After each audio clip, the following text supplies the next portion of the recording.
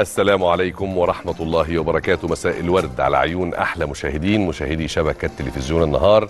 حلقة جديدة وأخيرة هذا الأسبوع حلقة يوم الخميس حلقة تاريخية.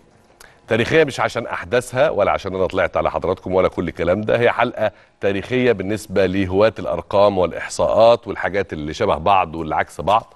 النهاردة تاريخه 19 9 2019 تاريخ كله وحايد وتسعات. وفي ناس بجد مش هزار. أنا مش منهم عشان بس ابقى يعني واضح معاك وأنا مش منهم خالص خالص. وأنا بالنسبة لي النهارده زي امبارح زي بكرة وكلها أيام ربنا. المهم أنت هتعمل إيه في اليوم ده؟ لكن في ناس حياتها قائمة على الحكاية دي. في ناس قائمة بتصحى الصبحية تشوف النهارده في الأجندة أو في النتيجة يوم كام؟ تقول لك ابا النهارده 19 ده يوم سعدي. أنا هنزل آه، هروح آه، أشتري مش عارف إيه وهروح أخطب فلان الفلانية وهروح أقدم على أي حاجة عايزها هتحصل اليوم ده. وطبعا ده جمبري بالكنافة مفيش أي كلام من ده. وفي ناس تانية يقول لك لا الأيام الأيام زي بعضها دي أيام نحس وما نزلش فيها من البيت وبتاع وفعلا بيقعدوا في البيت وما يعملش لو عنده صفقة ما يعملهاش ولو عنده حق كده. لكن وطبعا في ناس بتربطها بالأبراج وفي ناس بتربطها بالأفلاك وفي ناس بتربطها بالأفلام وكل حد عايز. يلزق نفسه في حاجة عشان يشيل المسؤوليه عن نفسه بيعمل كده. أنا في رأيي إن ده نوع من أنواع عدم آه، عدم ال- ال- اللي هي دي. عارفين اللي هي وقفة وقفة الرجاله دي؟ عدم استقلالية في في في الشخصية عدم ثق- ثقة في النفس. لازم أشيل أجيب شماعة أشيل بيها آه، أخطائي.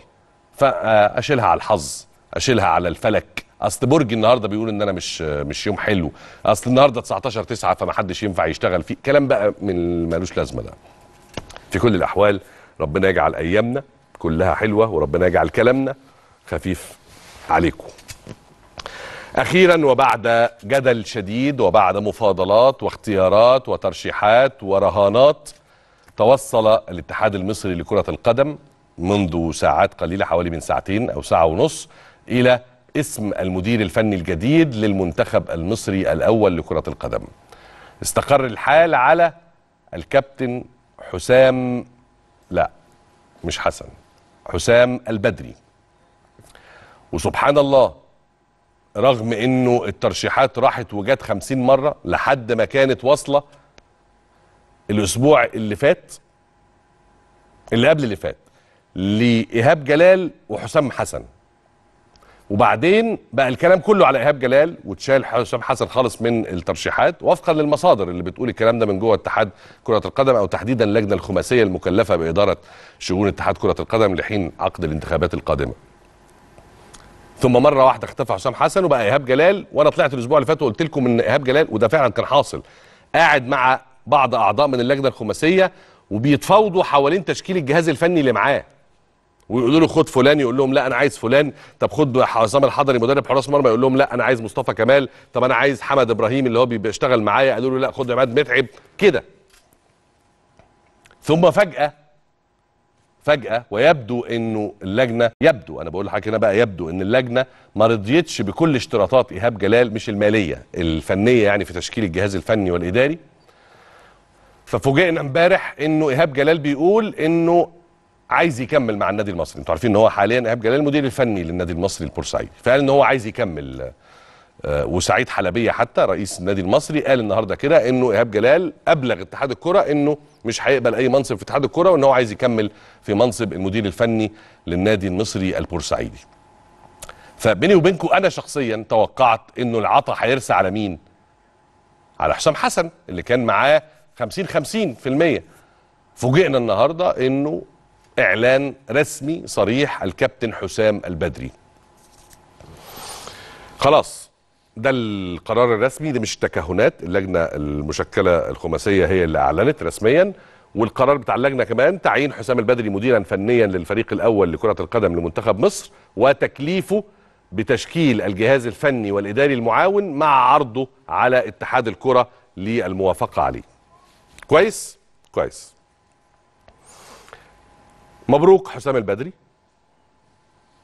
رغم إنها مهمة ثقيلة جدا جدا جدا قيادة منتخب مصر مش مهمة سهلة. وقيادة الفريق اللي بيمثل اسم وعلم وشعب مصر مش قصة سهلة. ومنتخب مصر في أفريقيا مش قصة سهلة. منتخب مصر هو ملك أفريقيا المتوج بالبطولات والألقاب والتاريخ والكؤوس وحاجات كتير كتير كتير كتير كتير كتير. فحمل المسؤولية بتاعت منتخب مصر شيء في منتهى الصعوبة لحسام البدري ربنا يقويه عليه. وعشان أنتوا عارفين أنا بتعود معاكم دايما الأمانة أنا هقول لكم رأيي واللي أعتقد أعتقد إنه ممكن يعجب كثيرين وممكن يختلف معايا كثيرين وأنا بحترم المختلفين قبل المعجبين. أنا الحقيقة ما كنتش من المفضلين لحسام البدري وعلى فكرة ده مش معناه إن أنا ضد حسام البدري أو بكرهه على فكرة حسام البدري صديق وأنا بحبه وبعزه وبحترمه كمدرب وكإنسان. أنا بتكلم على تفضيلاتي الفنية. أنا شخصيا واحد من جمهور كرة القدم كنت أتمنى إنه بما إن إحنا في فترة تجربة تجربة جديدة كان نفسي شباب وجوه جديدة هم اللي يتولوا المسؤولية. ففي الوجوه الجديدة اللي موجودين في الخمسة اللي تم اختيارهم كان إيهاب جلال هو الأقرب لتفضيلاتي. ولو قلت لي أنت شخصيا تفضل مين يا تامر هقول لك ولا واحد من الخمسة اللي كانوا مرشحين وأنا شخصيا أرشح عماد النحاس. ويبقى إن شاء الله كمان كام سنة كده ربنا يحييني ويحييكم ويديكم العمر ويديني. وهتشوفوا عماد النحاس ده هيبقى سجله وتاريخه عامل إزاي في التدريب. هيبقى واحد من أهم مدربي مصر ويمكن أهم مدربي القارة لأن الولد ده موهوب بخلاف إن هو كان لاعب طبعا كبير لكن هو موهوب وعنده فكر وعنده فلسفة وتطبيقاته فيها كويسة قوي وكمان علي ماهر على نفس الضرب بس أنا تفضيلاتي الأول عماد النحاس. لكن بعيدا عن تفضيلاتي الكلام ده كله وقت الترشيح. أما وقد اتخذ القرار وأصبح حسام البدري الآن هو المدير الفني لمنتخب مصر فأنا معاه وفي ظهره وبأيده وبشجعه. مش عشان بس هو يستحق لا لأن هو كمان دلوقتي بيمثل منتخب مصر ومنتخب مصر ما ينفعش نختلف عليه. ودي رسالتي لكل السادة الجماهير في كرة القدم المصرية. ده اسمه منتخب مصر. حضرتك بتحب حسام البدري. ما بتحبش حسام البدري؟ مختلف مع حسام البدري متفق مع حسام البدري. زعلان لو انت اهلاوي زعلان عشان حسام البدري في لحظة من اللحظات ساب الأهلي وراح لبيراميدز وكان في مشاكسات كده ومضايقات ما بين بيراميدز والأهلي وكذا فانت زعلان من- كل ده على عيني وراسي. لكن المدير الفني لمنتخب مصر يستحق الدعم لأن سقوطه مش معناها سقوطه هو شخصيا معناها فشل لمنتخب مصر. وساعتها يبقى إحنا اللي سببنا في فشل هذا المنتخب. فأرجوكم كل الدعم وكل التأييد وكل المؤازرة لحسام البدري وجهازه الفني والمعاون واللاعبين اللي هيختارهم ايا كانوا لأن دول شايلين علم مصر ولابسين تي شيرت المنتخب. لما بقى لا قدر الله يفشل هو في التجربة بعد إكمال المهمة ساعتها نقيم ونحاسب. لكن نفشل من البداية أعتقد ده اسمه تصفية حسابات لا يجوز مع منتخب بحجم منتخب مصر. الكابتن الكبير والناقد الرياضي الأستاذ حسن المستكاوي مساء الفل يا أستاذ حسن. مساء النور يا أستاذ تامر إزيك؟ إزاي حضرتك؟ الحمد لله تمام تمام. مبسوط؟ آه, آه طبعا يعني خلاص مدرب المنتخب آه تم الاستقرار عليه واعلن اسمه آه. وأي حد أنا كنت هبقى مبسوط لأن آه، المهم القرار يعني وزي ما أنت قلت إحنا بنساند آه، مدرب المنتخب. بس أنا ليا شوية ملاحظات ممكن أقولها؟ أرجوك. آه، اولا اللي بيقول ان حسام البدري فشل مع المنتخب الأولمبي فما ينفعش يمسك المنتخب الأول ده برضه حكم مش دقيق. لأن حسام البدري من وجهة نظري أنا وقلت ده من زمان اي نجح مع الأهلي لما خد الدوري ولعب كرة جماعية مميزة جدا وكان الأهلي أحسن فرقة بتلعب كوره في الوقت اللي كان فيه حسام البدري بيدرب الفريق وعمل شكل انضباطي آه للفريق. أنا صحيح. من المعجبين جدا بإيهاب جلال لأنه بيتابع وبيطور نفسه و آه، آه، يعني بيحضر بيعمل فترات معايشة لكن في النهاية شهادتي لحسام البدري أنه نجح مع الأهلي في الفترة اللي أخذ فيها الدوري آخر مرة. تمام. آه، يعني مش المرة اللي فاتت دي اللي قبلها طبعا. مظبوط، مظبوط. آه، آه، هنا بس أرجع للملاحظات. الحقيقة لم يكن جائزا ابدا ولا يجوز اطلاقا أن اللجنة أنا هقول اتحاد الكورة بقى عشان حكاية اللجنة دي. كمان اللجنة صعبة شوية. شوية اتحاد الكورة آه اتحاد الكورة يعلن عن خمس أسماء مرشحة لتدريب المنتخب. هذا كان خطأ جسيما. دي نمرة واحد. نمرة اثنين الخطأ الثاني لا يجوز أبدا تحط الكابتن حسن شحاتة مع الخمس أسماء لأن صح. يعني آه، آه، المقارنة في- المقارنه ظالمة أو لازم يبقى في تقدير لل للقيمة ولا التاريخ صح، و... صح. كان غير مقبول على صح. لأن في النهاية دلوقتي بعد ما أنت اخترت حسام البدري معناها إن أنت ما اخترتش حسن شحاتة بالظبط كده فدي مش حلوة في حقه فالإعلان عن الخمس أسماء غلط وإعلان صح. إن الكابتن حسن شحاته ضمن الخمس أسماء وضعه في مقارنة مع مع مع مع تقديري ليهم جميعا صح لكن ده لم يكن يجوز بالنسبة للكابتن حسن شحاته ولا يجوز من اتحاد الكوره متفق مع نمرة حضرتك ثلاثة نمرة ثلاثة لا يجوز أبدا برضه أن اللي بياخد القرار. آه، يعمل عملية جس نبض عشان يستمد القرار الصحيح. من الرأي العام أو من السوشيال ميديا ده برضه غلط نمرة أربعة مم. مش معقول أبدا. تعلن يعني لجنة أن في مدير فني وتقعد شهرين آه، سايب الناس عمالة تقول حسام إيهاب جلال مش عارف مين آه، آه، ثم امبارح بالليل كان إيهاب جلال. صح. النهارده الصبح رحت محودين وقلت حسام البدري. مم. فماشي تمام خلاص ده قرار. لكن ليه قعدتوا شهرين؟ وإزاي. تقعدوا لا وفي بعض؟ الناس كاتبين النهارده في بعض المواقع كلام ومتهيألي في بعض المنطق حضرتك تأكده إنه زي ما حضرتك قلت دلوقتي لحد امبارح بالليل الكلام كله كان إيهاب جلال. آه، النهارده النهارده الظهر فوجئنا بحسام البدري. معنى كده. معنى كده إن الفترة اللي اختلف فيها الرأي ما بين إيهاب جلال وحسام البدري ساعات. فالبعض أيوة. بيقول لك يبقى إزاي ده قرار مدروس اللي أنت غيرت فيه في ساعات قليلة؟ آه طبعا طبعا. هذا القرار ليه اسباب هم يقولوا الأسباب. تمام. مش أنا. تمام. هم يقولوا الأسباب. صح. لأن أنا الحقيقة يعني كفاية بقى إن إحنا نبقى في مجال وتتخذ قرارات ومحدش يعرف السبب إيه. امم طالما الأسباب مشروعة خلي بالك أنا بختار كلامي كويس قوي جدا. طالما الأسباب التي دعت إلى تغيير اختيار ايهاب جلال إلى حسام البدري أسباب مشروعة مم. ومنطقية لابد أن تعلن هذه الأسباب بوضوح عشان الناس تفهم بس إحنا ليه بنختار وعلى أي أساس صحيح هي صحيح الحكاية بلاها نادية خد سوزي ولا الحكاية بالضبط دراسات وتقييم مظبوط وفلسفة ورؤية لمنتخب مصر القادمة والاستراتيجية اللي إحنا عايزينها من المدير الفني. الحقيقة أنا هختم كلامي يا تامر بأن. أنا معجب جدا باللجنة اللي عملت حاجات بسيطة مم. لكن كلنا كنا منبهرين بيها مع إنها بسيطة صح جدول الدوري حفلة القرعة الشباب اللي موجود الاختيارات لكن أنا الحقيقة بسجل وبحط كده خط تحت موضوع اختيار مدرب المنتخب لأنه آه كان في مجموعة أخطاء كثيرة جدا. آه عملت رد فعل للأسف. آه اللي موجود حاليا على السوشيال ميديا مفهوم مفهوم. بس. بشكرك شكرا جزيلا أستاذ حسن المستكاوي الكاتب الصحفي الكبير والناقد الرياضي الكبير والحقيقة يعني مفيش كلام يتقال في الكورة بعد كلام الأستاذ حسن.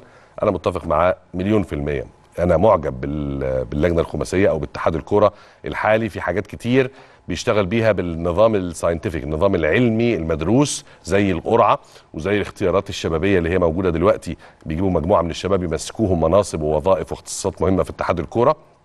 والقرعه بتاعت الدوري اللي عامل ممتاز اتعملت بشكل علمي رائع تحديد المباريات وفروق التوقيت ومين الفرقة اللي هتسافر فتقعد ثلاث أيام والفرقة اللي مش هتسافر تقعد أربع كده شغل رائع. لكن إدارة الملف بتاع اختيار المدير الفني للمنتخب أنا مع الأستاذ حسن إنه ما كانش بنفس الجودة اللي اللجنة اشتغلت بيها وكان في ترهلات وكان في تسريبات كلام وزي ما الأستاذ حسن قال ربما يكون ال- الهدف كان إن أنا أعمل بالونه اختبار أسرب اسم فاسمع رأي ال social media والرأي العام فيوافق يا لأ وبعدين أغير ودي طريقة مش سليمة. تدينا انطباع ان الموضوع بجس النبض مش بالدراسة. يعني المفروض اللجنة كانت تقعد تقول إحنا عايزين المنتخب المصري الفترة اللي جاية يعمل كذا إحنا عايزين منتخب يبقى من النجوم. أصل خدوا بالكم الهدف مختلف وبالتالي الطريقة تختلف. ممكن نقول إحنا عايزين منتخب من النجوم اللي هم السوبر الجاهزين عشان نخش بيهم ناخد كأس الأمم اللي جاية ومش عارف إيه. يبقى مين اللي بيعرف يتعامل مع النجوم السوبر ويعرف يديرهم ويعرف يعمل منهم توليفة من غير ما يحصل نفسنا ونزاعات وبتاع؟ فلان الفلاني أحسن واحد يبقى هو ده. أو نقول لا إحنا مش عايزين كده إحنا عايزين نبني منتخب. نبني منتخب يعني إيه؟ يعني نعمل توليفة من الأعمار الصغيرة. تطلع عشان بعد سنة سنتين هي اللي تبقى خدت الخبرة ولعبت لها 20 30 ماتش دولي ودي وبتاع فعلى تصفيات كأس العالم تبقى جامدة ونعرف ننافس لا فنختار بقى المدرب اللي بيعرف يختار العيال الصغيرة ويعرف يتعامل مع نفسية ال- الولاد الصغيرة اللي عندها 20 21 22 سنة ويعرف أو عايزين منتخب مطعم ما بي- كل حاجة ليها حاجة. لكن فكرة إنه خد ده بلاش ده أو على الأقل دي الصورة اللي طالعة قدام الرأي العام ده إدى انطباع ومش حلو على الناس. لكن عشان نقفل الموضوع قولا واحدا أنا قلت لحضراتكم ما دام تم الاختيار وتم الإعلان أنا ويجب أن نكون كلنا مع حسام البدري من أجل منتخب مصر. ثم الناس المحترمة بتحاسب بقى في نهاية المدة أو في نهاية العقد أو في نهاية المشوار. وعشان أقفل الكلام في الكورة أنتوا عارفين إنه جماهير مصر كلها منتظرة ومترقبة مباراة مهمة جدا جدا بكرة. والحقيقة أنا لسه لحد اللحظة دي مش عارف الساعة كام. اتقال الماتش المفروض بكرة في برج العرب ده الحاجة المؤكدة. مباراة السوبر ما بين الأهلي والزمالك الأهلي بطل الدوري والزمالك بطل الكاس مباراة السوبر المحلي بينهما. الأكيد إن المباراة في استاد برج العرب. أنا معلوماتي إن المباراة كانت الساعة 8 بالليل. لحد امبارح بالليل والنهاردة الصبح طلع بقى شوية كلام إن المباراة تم تقديمها 60 دقيقة يعني بقت 7 بالليل. وبعدين طلع قبل ما أطلع من شوية من ساعة كده مصدر في اتحاد الكره وقال لا مفيش الكلام ده إحنا لسه الماتش زي ما هو ما تعدلش بقى 8 بالليل. فأنا أرجو إنه اتحاد الكره يطلع بيان رسمي يعلن فيه الماتش الساعة كام 7 ولا 8 لأن ده ماتش مهم ما ينفعش يفضل متمرجح كده. وفي ناس هتسافر أنتوا عارفين برج العرب دي في محافظة آه، يعني جنب اسكندرية ومرسى مطروح. ففي ناس هتسافر من محافظة القاهرة من الشرقية من كذا فلازم أبقى عارف وهظبط وقتي واظبط توقيتاتي وحاجات من دي. مباراة السوبر دي مباراة أنا عارف إن الشحن شغال عليها من دلوقتي وال social media طبعا أنا متأكد إنها مولعة تحفيل متبادل ما بين الأهلاوية والزملكاوية من دلوقتي. لكن أنا الحقيقة لو سمحتوا لي ورغم إن أنتوا عارفين إن أنا أهلاوي عشان برضو الكلام بس يتقطع من بدري كده ومحدش يقول لك إنه تامر بيلقح كلام ولا بيرمي كلام خالص أنا رأيي إنه الموضوع لا يستحق كل هذا التحفيل. ليه؟ لأن اولا دي مباراة. آه طبعا ديربي ومباراة قمة وما بين قطبي كرة القدم. قولوا الكلام اللي أنتوا عايزين تقولوه كله. بس في النهاية مباراة. بطولة قايمة على مباراة. يعني مش بطولة تستحق الاحتفال الفظيع وإن أنا يعني أخدت بطولة اللي ما حصلش إيه. دي بطولة قايمة على مباراة. أنا في رأيي إنها بروتوكولية مراسمية شكلية كده. طبعا اللي هيفوز بيها هيفرح واللي هيخسرها هيتضايق أكيد بس في النهاية أنا قصدي إنها مش الحاجة اللي أموت نفسي عليها يعني والحرقة الدم اللي أنتوا عاملينها على السوشيال ميديا دلوقتي مبكرا ما بين الأهلاوية والزملكاوية على مواقع التواصل. رقم اتنين. أنا بقول كلام الناس بتزعل منه. إنه ماشي. اللي عملوه الأهلاوية والزملكاوية أنا بقول لكم هو بقى أنا معنى أهلاوي بس اللي عملوه لعيبة الأهلي ولعيبة الزمالك ولعيبة مصر في المنتخب في كأس الأمم. ما يخليناش يعني نبقى نبقى كده يعني لحد ما يصالحونا. خدوا بالكم افصلوا ما بين إن الدولة المصرية نجحت بامتياز وإبهار في تنظيم البطولة. لكن اتحاد الكرة السابق والجهاز الفني السابق واللعيبة اللي كانوا بيلعبوا في البطولة خذلونا خذلانا مهينا. ودي حاجة ودي إحنا نظمنا بطولة عظيمة وعالمية. أما منتخبنا كان دون المستوى باتحاد الكرة بكله والحمد لله إن ربنا أزاح كل هذه المنظومة. فيعني أنا لحد دلوقتي محبط وما صالحتهمش وزعلان منهم. اللعيبة اللي بتاخد الملايين وبتاخد التنجيم والأضواء والاحتفالات وفي الآخر في الجد بيخلعوا. رقم ثلاثة الجمهور نفسه يرجع الاستادات وده حقه. الجمهور جمهور الكورة نفسه يرجع الملاعب والاستادات في بطولة الدوري وبطولة الكاس وبطولات أفريقيا سواء الأهلي والزمالك لما يلعبوا الأندية الأفريقية. وده بقول لكم ده حقه لأن الكورة للجماهير والإستاد من غير جمهور دمه تقيل وماتش تحس إن هو ماتش ملوش لازمة. بس الجمهور هو اللي في إيده إنه يرجع نفسه أو يمنع نفسه. إزاي؟ بسلوكه بسلوكه بالتزامه. الجمهور اللي عايز يرجع المدرجات هيلتزم في ماتش بكرة وهيدي صورة رائعة للانضباط في ماتش بكرة. وفي ناس للأسف لما بيفهموا كلمة الانضباط دي معناها إن أنا ما أشجعش إن أنا أقعد ألف. مين اللي قالك كده؟ الانضباط دي معناها إن أنت ما تخالفش القانون. لكن فيما عدا ذلك اتشقلب زي ما أنت عاوز في تشجيع فريقك. خش في المسار اللي محدداه الإدارة العامة للمرور ووزارة الداخلية عشان لو كنت أنت من الأهلي أعتقد له مسار جاي من الطريق الصحراوي والزمالك الزملكاوية هيخشوا من طريق مش عارف إيه المسارات محددة. خش في الطريق ده ما تشغبش ما تشيلش معاك أشواء أشياء ممنوعة لا شماريخ ولا حاجات صلبة ولا مش عارف إيه وبتاع والتزم بالحاجات اللي مسموح دخولها. خش اقعد في المكان المخصص ليك. دخلت اعمل اللي أنت عاوزه بقى شجع واحتفل وتنطط وغني واهتف وصو... اعمل كل حاجة. بس ما تشتمش. لا تشتم دولة ولا أشخاص ولا نادي منافس. لكن شجع فريقك للصبح للصبح باللي انت عاوزه. يخلص الماتش كسبت خسرت لف وروح. بس الموضوع انتهى. تضمن ان انت متواجد في كل مباراة والاستادات هترجع بساعاتها الكاملة واستاد القاهرة يرجع يستقبل 70 80 100 ألف لأنه خلاص الجمهور أنا بقول لكم أهو مش الأمن هو اللي بيحدد عودة الجماهير من عدمها. الجمهور هو اللي بيحدد عودة الجمهور من عدمه. انضباط وسلوك الجماهير رجعت. مخالفات وشغب وتكسير و شكرا. وأخيرا نفسي حاجة تحصل نفسي حاجة تحصل.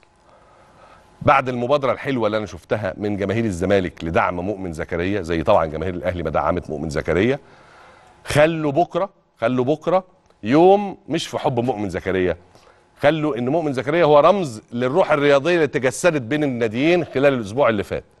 فخلوا بكرة يوم للروح الرياضية دي. وأنا سمعت في اتحاد الكورة إن بكرة هيتعمل ممر شرفي. يعني الأهلي والزمالك هيلعبوا. نفترض لا قدر الله بالنسبة لي يعني إن الزمالك كسب. الزمالك لعيبة الزمالك هيقفوا ويعملوا ممر شرفي لعيبة الأهلي يروحوا يستلموا فيه ميداليات المركز الثاني والعكس حصل الأهلي لو كسب لعيبة الأهلي هيقفوا ويعملوا ممر شرفي نادي الزمالك يمشي فيه عشان يروح يستلم الميداليات بتاعت المركز الثاني وهي بتبقى شكل تقديري ما بين الفرقتين. الفرقة الكسبانة بتقول إن أنا كمان هحتفل بالفرقة الخسرانة مفيش فينا حد خسران. أنا نفسي بقى من الجمهور ولو حصلت بكرة دي أنا هيبقى عندي أمل إن إحنا يبقى عندنا سلوك متحضر في المدرجات. نفسي بكرة ايا كان مين هو والله أعلم بالنتيجة بكرة. نفسي بكرة جمهور الفرقة اللي هتخسر أول ما الحكم يصفر تقوم تقف وتسقف لفرقتها.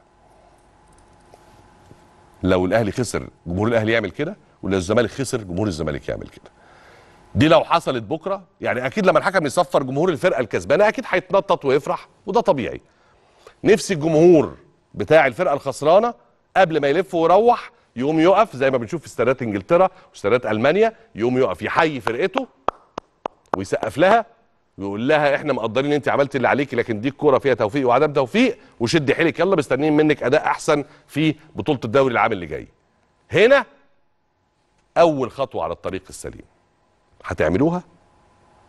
وطبعا طبعا طبعا طبعا الأساس هو روح وأخلاق والتزام اللعيبة في الملعب لأنه هم اللي بيدوا انعكاس المدرجات لما تلاقي اللعيبة بتضرب في بعض وبتشتم في بعض وبتطوح للحكم وتشوح وبتاع ما بالكم المدرجات هتعمل إيه أتمنى بكرة إن شاء الله تبقى صورة مش لكرة القدم المصرية لأن إحنا مش عايزينها، إحنا عايزين كرة القدم المصرية التي نحلم إنها تكون مش أقل من كرة القدم في كل دول العالم لأنه كرة القدم مش بس رياضة ولا ممارسة ولا هواية هي فلسفة وصناعة وأخلاق. إحنا قدها إن شاء الله نكون قدها. نلتقي بعد الفاصل.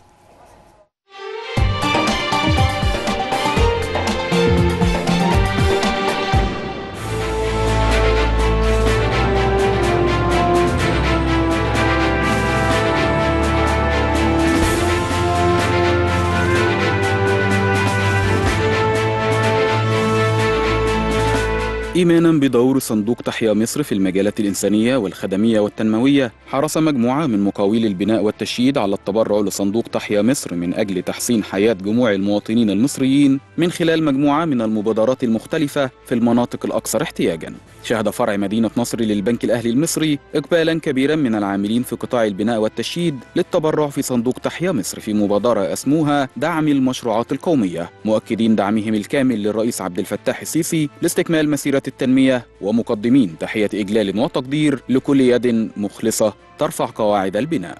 إحنا جايين ندعم السيد رئيس الجمهورية في مبادرة تحيا مصر وجايين نرد الجميل لمصر بحيث إن إحنا اشتغلنا من مصر إحنا الشركة عندنا شغالة من سنة 96 في مجال المقاولات.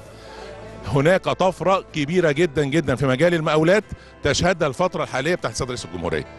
وال- وبتدي فرص عمل كتير جدا جدا للشباب. والشباب عندنا بيشتغل وزي ما حضرتك شايف العمالة كلها جاية العمالة جاية تتبرع ذات نفسها ليه؟ لأن هو بيكسب. موجودين والله النهارده عشان آه، اولا ندعم بلدنا مصر وندعم المشروعات القومية اللي, اللي, اللي اتعملت في الفترة آه، ال- ال- الوجيزة اللي فاتت دي وندعم سيادة الرئيس ونقول له كمل يا سيادة الرئيس إحنا كلنا وراك وكلنا معاك لأن اللي إحنا بنشوفه ده إنجاز آه، آه، ما حصلش من سنين طويلة جدا جدا. رسالة مننا لحب مصر وتحيا مصر. والنهضة اللي بتحصل في مصر آه، آه، بعد فترة عصيبة عدينا بيها. وإحنا شركة أوراسكوم بنفر إن إحنا بنشترك في مشروعات آه، هامة جدا ومشروعات تلمس حياة المواطن المصري بصفة مباشرة. إحنا النهارده معانا مجموعة كده رمزية من العاملين في شركة المقاولين العرب وده يمكن لتاني يوم برضو نبقى موجودين لدعم المبادره آه، الخاصة بالمشروعات القومية اللي بتقوم في مصر. ودعم صندوق تحيا مصر لإقامة مزيد من مشروعات التنمية اللي الشركة أساسا بتساهم فيها باستمرار. جايين نتبرع لمصر بنقول للناس إحنا بنحب مصر. جايين نقول تحيا مصر. إحنا جايين نرد على أي بني آدم ما بيحبش مصر. مقاولين عرب بتحب مصر. واللي بيحب مصر يبني في مصر مش يدمر. إحنا جايين نبني ونضحي وندفع. جايين ندفع فلوس لأن في ناس غيرنا دفعوا أرواحهم. والعمال اللي موجودين دول النهارده كل واحد جاي يعبر برساله يدي جزء بسيط لصندوق تحيا مصر. والناس دي اهم من انها بتتبرع الناس دي النهارده بتوجه رساله انها موجوده في كل الميادين وكل المواقع.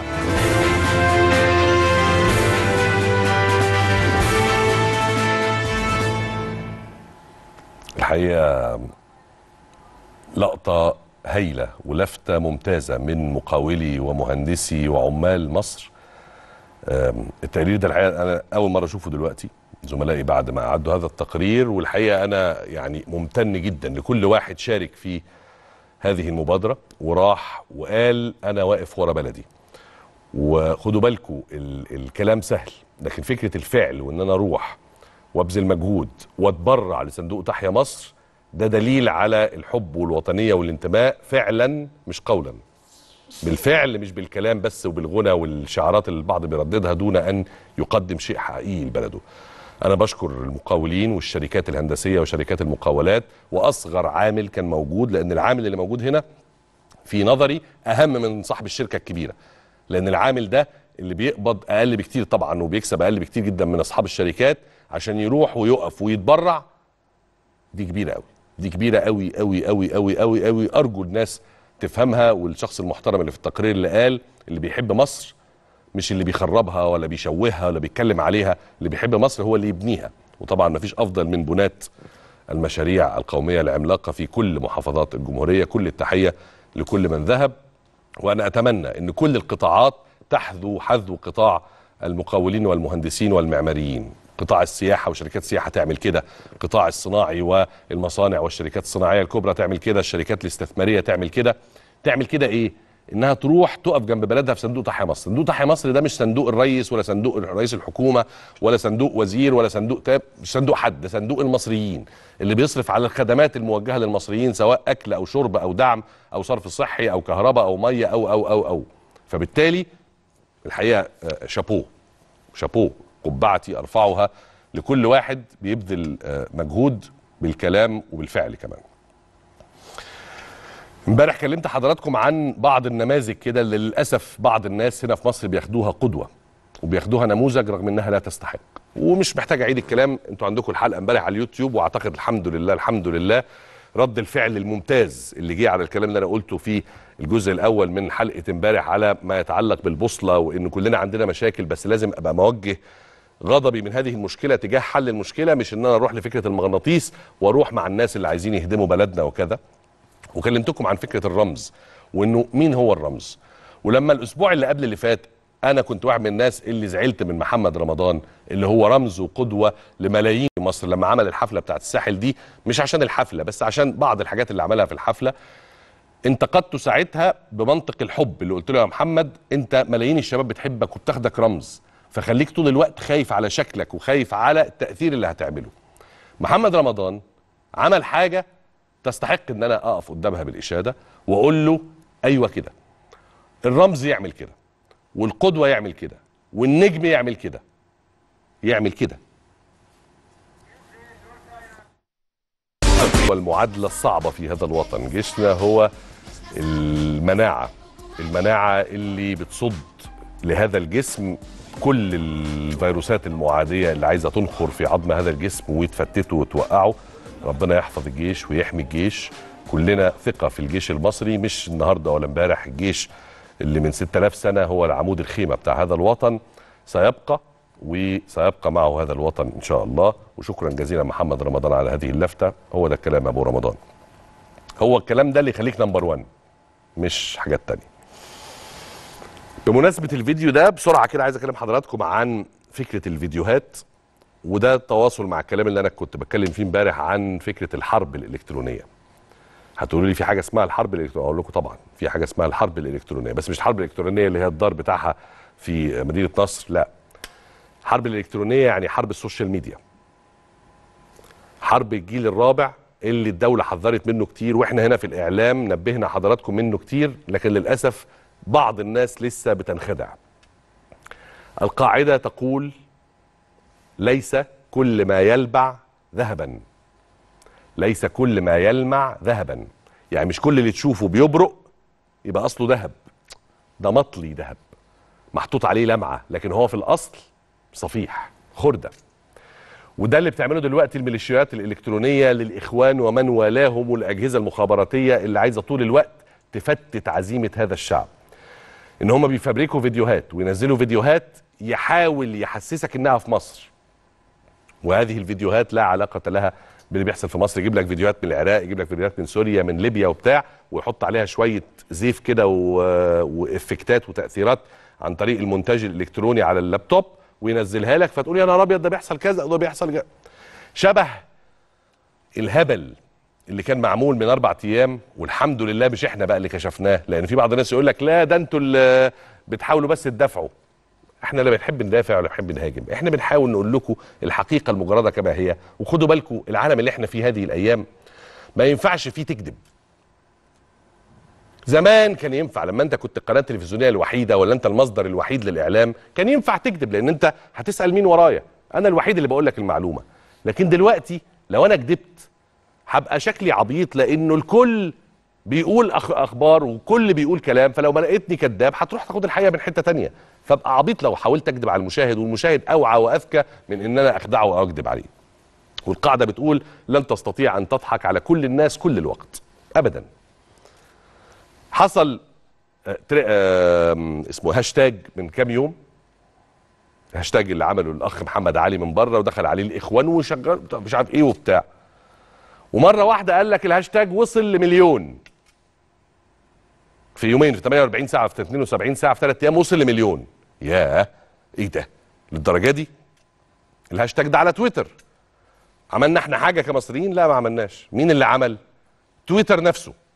ما هو تويتر ده مش موقع تحت السلم ومش موقع كده قاعد على نصبة وشمسية على ناصيه شارع لا.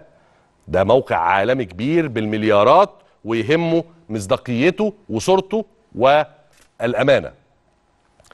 تويتر الحاجات المريبة دي بيخش يبحث عليها مباشرة. فدخل قال لك تعالوا وروني الهاشتاج اللي بقى عدى مليون في 48 ساعة. ده ودخل وبحث وحلل. ثم اكتشف تويتر إن الهاشتاج ده كله ضرب. كل أو 90% 99% من اللي داخل فيه صفحات fake.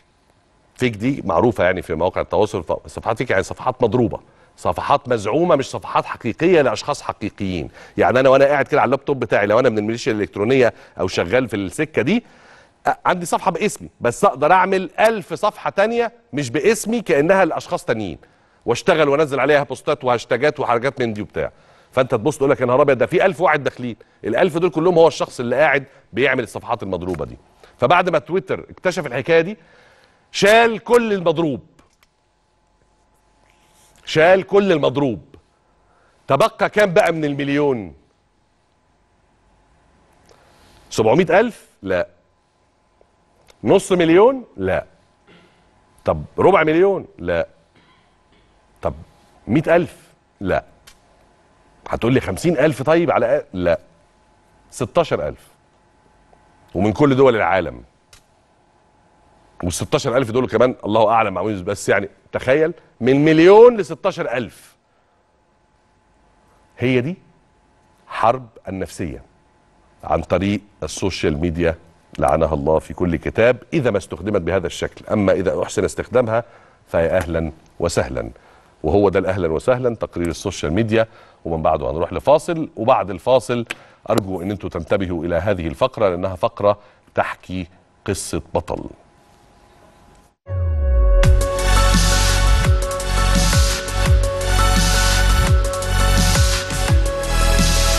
أخبار وصور وفيديوهات يتداولها رواد مواقع التواصل الاجتماعي يوميا. وإحنا في برنامج آخر النهار نرصد لكم أبرز ما جاء فيها والتي كان من بينها.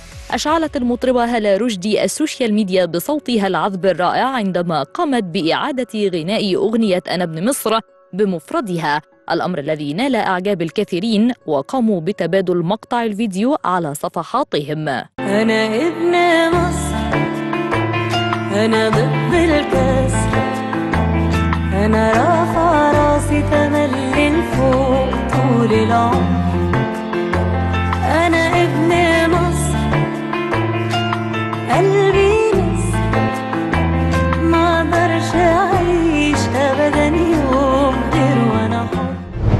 من جديد أعادت نورهان حلمي صاحبة أشهر فيديو لوداع يا دنيا وداع إلى ساحات ال social media مرة أخرى بأغنية جديدة تحت عنوان مفيش emotion حب شوية ناس Photoshop والتي تفاعل معها أيضا الكثيرون. مفيش emotion حب يا شوية ناس Photoshop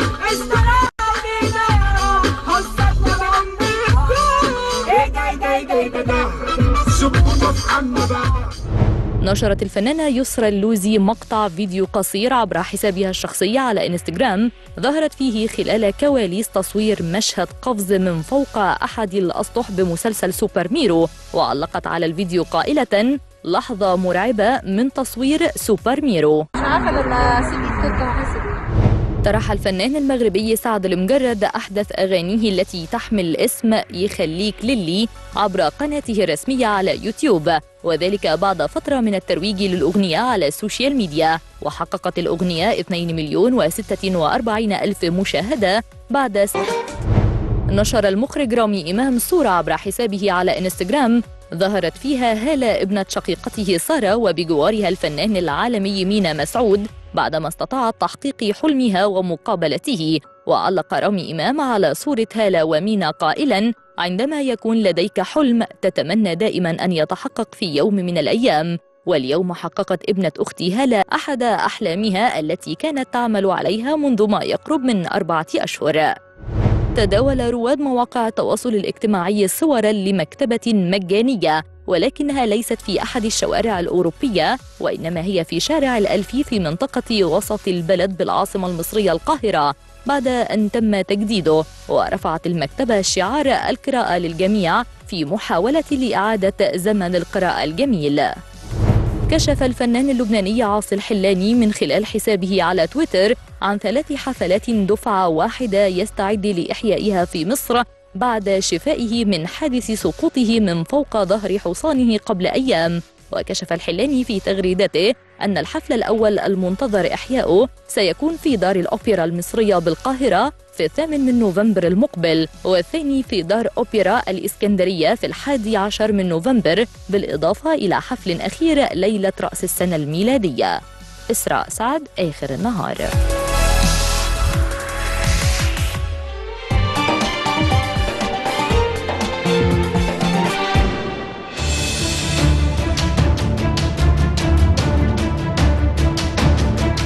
استمرارا لجهودها في مكافحة الإرهاب وتعقب عناصره والكشف عن مخططاتهم وإحباطها. أعلنت وزارة الداخلية مصرع تسعة عناصر إرهابية في تبادل لإطلاق النيران خلال مداهمة أمنية بمدينتي العبور والخامس عشر من مايو. وقالت بيان لها إنه من بين الإرهابيين قيادي حركة لواء الثورة محمود غريب قاسم واسمه الحركي خلف الدهشوري والمتورط في اغتيال العميد قوات مسلحة عادل رجائي قائد إحدى الفرق المدرعة بالقوات المسلحة واستهداف كمين العجيزي بالمنوفية. وأوضحت أنه عثر بحوزتهم على ست أسلحة آلية واثنين خرطوش وكمية من مادتي RSALT والنطرات ومجموعة من الدوائر الكهربائية وعبوة متفجرة واثنين هياكل عبوات. ويأتي ذلك في إطار الحرب على الإرهاب. متبعين أحدث الوسائل في الرصد والمتابعة تنفيذا لاستراتيجية الوزارة. فما يحدث الآن ليس بالجديد على قطاع اعتاد على الضربات الاستباقية خلال السنوات الماضية. وضرب مثالا في الحرفية بعد عملية انفجار سيارة مفخخة أمام معهد الأورام وكشف الخلية العنقودية وخط سير السيارة المفخخة وتحديد واستهداف أفراد الخلية فضلا عن تحديد أماكن اختباء وتردد العناصر الإرهابية من تنظيم الإخوان في المناطق المأهولة بالسكان والصحراوية. واستهدافهم والقضاء عليهم. وأكدت وزارة الداخلية أن مصر شهدت خلال الخمسة أعوام الماضية حالة من الاستقرار الأمني بعد سنوات من الفوضى والانفلات حيث التحديات الأمنية كانت هائلة. تطلبت مواجهة شاملة على كافة المحاور والمجالات. ففي مجال مواجهة الجريمة الإرهابية نجحت أجهزة الوزارة في توجيه ضربات استباقية ضد التنظيمات الإرهابية. جنبت البلاد العديد من عملياتها الآثمة وأسفر ذلك عن القضاء على أكثر من 992 بؤرة إرهابية وضبط أكثر من 19108 عناصر إرهابية وبحوزتهم كميات كبيرة من الأسلحة والذخائر والمواد المتفجرة والعبوات الناسفة.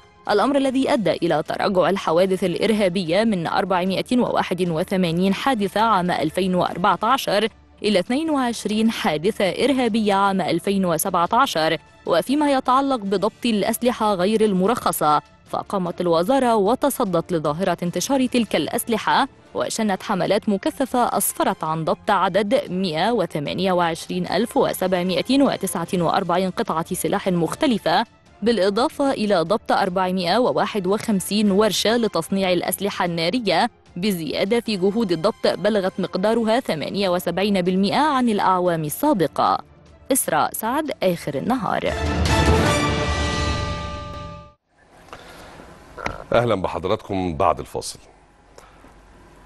السيدة العزيزة ضيفتي في هذه الفقرة شاهدة على واحدة من أهم قصص البطولة في التاريخ المصري، قصة بطولة للعسكرية المصرية والجيش المصري وقصه بطوله متوازية ومتزامنة كمان ابطلها وزارة الداخلية وتحديدا قوات الأمن الوطني وكل قطاعات وزارة الداخلية. القصة بدأت في عام 2016 ودي كانت ملامح بداية القصة وفصل الختام كان امبارح. الشهيد عادل رجائي اللي اغتالته أيادي الإرهاب آه، في أكتوبر أعتقد 2016 وكان طول الوقت رمز للتضحية والفداء وكان زوجته آه، رمز كمان للصمود والبسالة والاستيعاب والانتماء. وكانت طول الوقت بدل ما إحنا اللي بنحاول ندعمها هي اللي بتدينا الدعم وهي اللي بتدينا الطاقة وهي اللي بتشحن لنا بطاريات حب البلد. لحد ما نجحت قوات الأمن الوطني مع قطاعات وزارة الداخلية امبارح في استهداف خليتين إرهابيتين. واحد من أفراد هذه الخلية كان مشتركا في اغتيال الشهيد عادل رجائي. ضيفتي النهارده الكاتبة الصحفية الكبيرة وعضو الهيئة الوطنية للصحافة الصديقة العزيزة الأستاذة سامية زين العابدين. مساء الخير يا وحشتني يا. تامر إزيك؟ وحشتني جدا جدا. صدقني والله أنا مهما آه، أقول أو أتكلم مش حاجة غير الكلمات اللي أنا بقولها فعلا من قلبي. أنا سجدت لربنا إمبارح. شكر. لأن انت عارف ويمكن زمايلي كلهم عارفين ارتباطي بعادل جوزي مش ارتباط زوجة بزوج لا إحنا قصة حب غريبة جدا جدا جدا. إحنا اخترنا بعض مرتين مرة لما جه يتقدم لي ومرة لما الدكاترة قالوا لنا مش هينفع تخلفوا غير لما كل واحد فيكم ينفصل وتتجوزوا كل واحد يخلف. فكان الاختيار التاني والأقوى. يعني لن أنسى كلماته. أنا بكتب كتاب عنه عشان أسجل كل حاجة إنسانية كنت بعيشها خلال جوازي وخلال خطوبتي ليه. قال لي هتسيبيني يا سامية؟ والدموع كانت في عينيه. فقلت له ده أنا اللي خايفة إن أنت اللي تسيبني. قال لي أنا عارف أنت بتحب الأطفال قد إيه.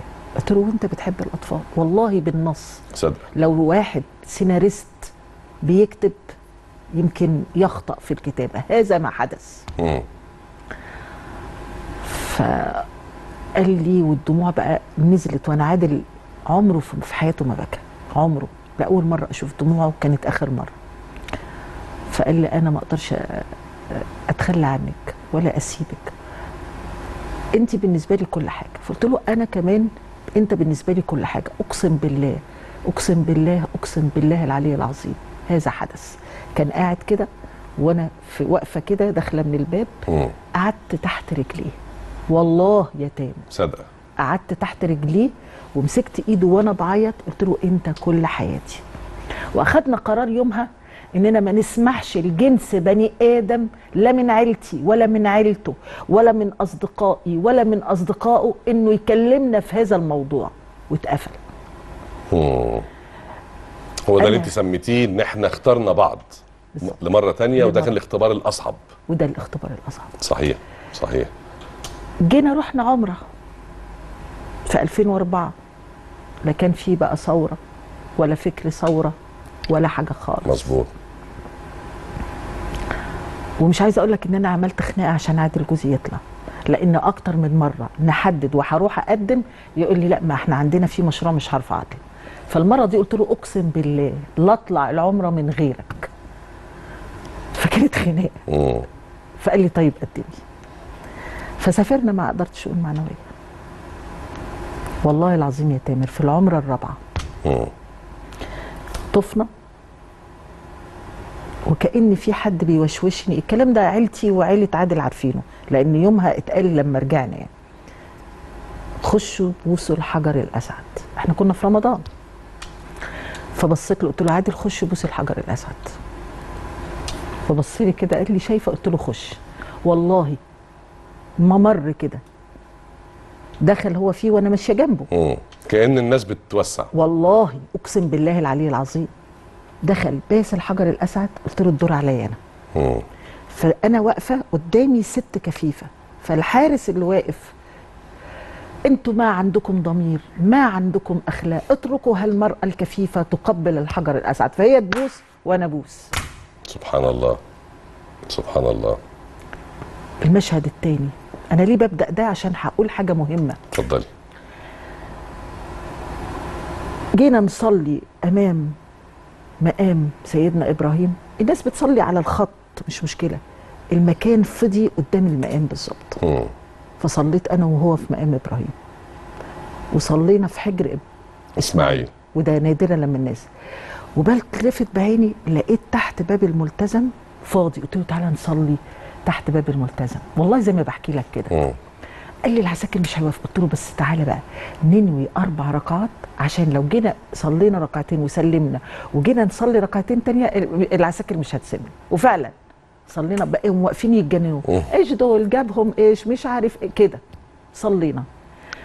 فوقفت قدام باب الملتزم وإحنا ماسكين الطوب بتاع الباب.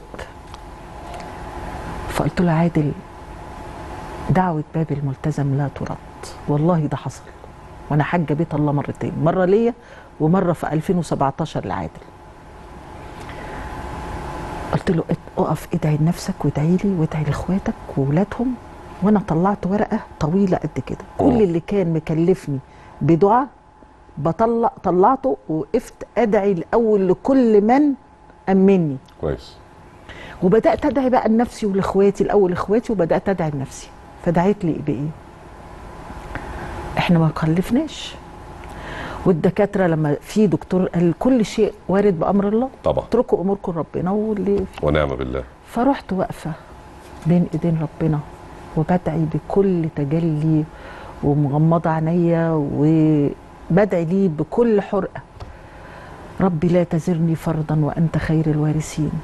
يا رب ارزقني أنا وزوجي بطفل أو طفلة يملوا علينا البيت. وقاعده بدعيه. أنا سامعاه بيهمهم. شوية الهمهمة بدأ صوته يعلى شوية بس مش سامعة يعني أنا كده لحد ما لقيته بيقول إيه؟ يا رب كرمني بالشهادة يا رب يا رب كرمني بالشهادة يا رب يا رب كرمني بالشهادة. وايديه دي بقى إيه؟ عمالة ترتفع. أنا جالي ذهول. بطلت دعاء وعمالة أبص له بذهول. وعمالة أقول له يا عادل يا عادل. ما بيردش. يا عادل يا عادل رحت هزاه. يا عادل. فخ هو كان في لحظة تجلي. ورب العزة استجاب. قلت له انت عايز تحرق قلبي. ده انت كل حاجة بالنسبة لي. انت واقف بتدعي بالشهاده وإحنا في حالة حرب. والله ده حصل. تصدق هذا صدق. ال- الكلام حصل بالحرف. تصدق فأنا إيدي بعمل له كده وبإيديا وأنا متضايقة فراح ماسك إيدي دي كده وراح منزلها لتحت كده. يا عبيطة. ده أنا هاخدك من إيدك وأدخل بيكي الجنة. ما عرفتش أرد عليه. كملنا بره السعي. وقعدنا كملنا صلاة لحد المغرب وجرحنا صيامنا بمية زمزم وصلينا المغرب وجري على الفندق عشان نفطر. فقررت عليه نفس السؤال. كان رده إيه؟ وكل العسكريين اللي بيسمعوني دلوقت وطلبة الكليات العسكرية عارفين اللي أنا هقوله ده. قال لي طب اسألي كده الضباط اللي موجودين من أكبر رتبة لأصغر رتبة. هيقولوا لك إن ده أمل ودعاء كل فرد في القوات المسلحة. ما قاليش ضابط قال لي كل فرد. والله ما قال لي ضابط يا تامر قال لي كل فرد. قال لي أنت عارفة أول يوم دخلنا فيه الكلية الحربية وإحنا قاعدين على السرير نوبة نوم كان بيقول لنا الحكمدار بتاعنا إيه؟ اقرأ الفاتحة للشهيد اللي كان نايم على سريرك. يا نهار أبيض. دي عقيدة يا نهار أبيض. ضابط الجيش وضابط الشرطة. صحيح. اللي الخونة عايزين يهدوا جيشنا وشرطتنا. طيب أنا هرجع لك لفكرة الخونة دي وهنتكلم فيها شوية بس خليني برضو آه، أرجع لأنه الحقيقة أنا معجب جدا بالسيناريو اللي ربنا بيحطه دايما علشان آه، يبرد نارنا. طبعا. وعلشان يورينا علامات على إن إحنا ماشيين صح. طبعا. إحنا دي اللي هي البلد والوطن طبعا. وال- والناس. إحنا طول السنتين ثلاثة اللي فاتوا منذ استشهاد آه، الشهيد عادل الله يرحمه الذكرى الثالثة 22 10 اللي جاية تامر شوف ربنا حب يعمل عليا إيه؟ سبحان الله. بيطبطب عليا كده. مظبوط. أنا بقول لك سيناريو ربنا يعني لو إحنا دعينا مش هيحصل أحسن من آه، الوضع اللي عامله الخالق سبحانه وتعالى.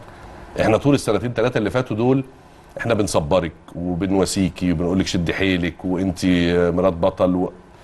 بس أنا متهيألي إمبارح بس أنا أقدر أقول لك الله يرحمه. لله. البقاء لله وأقدر أعزيكي طبعا. وأقول لك ارفعي راسك. أنا عايزة أقول كلمة لولادي. رجال الشرطة البواسل.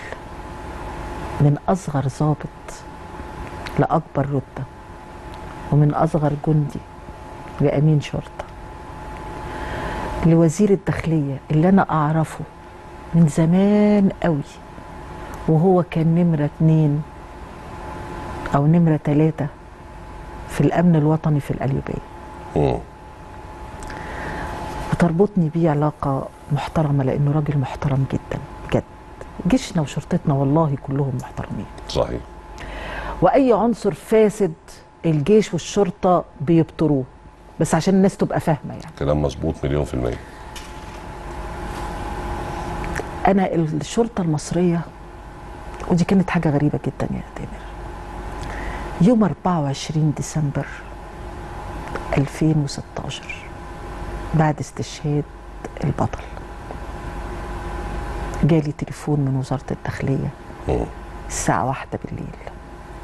بأن تم تصفية اتنين من خلية ما هو اللي اغتالوا عادل مجموعة خلية كانت موجودة. مظبوط. من خلية لواء الثورة المزعوم. بأن تم تصفيته.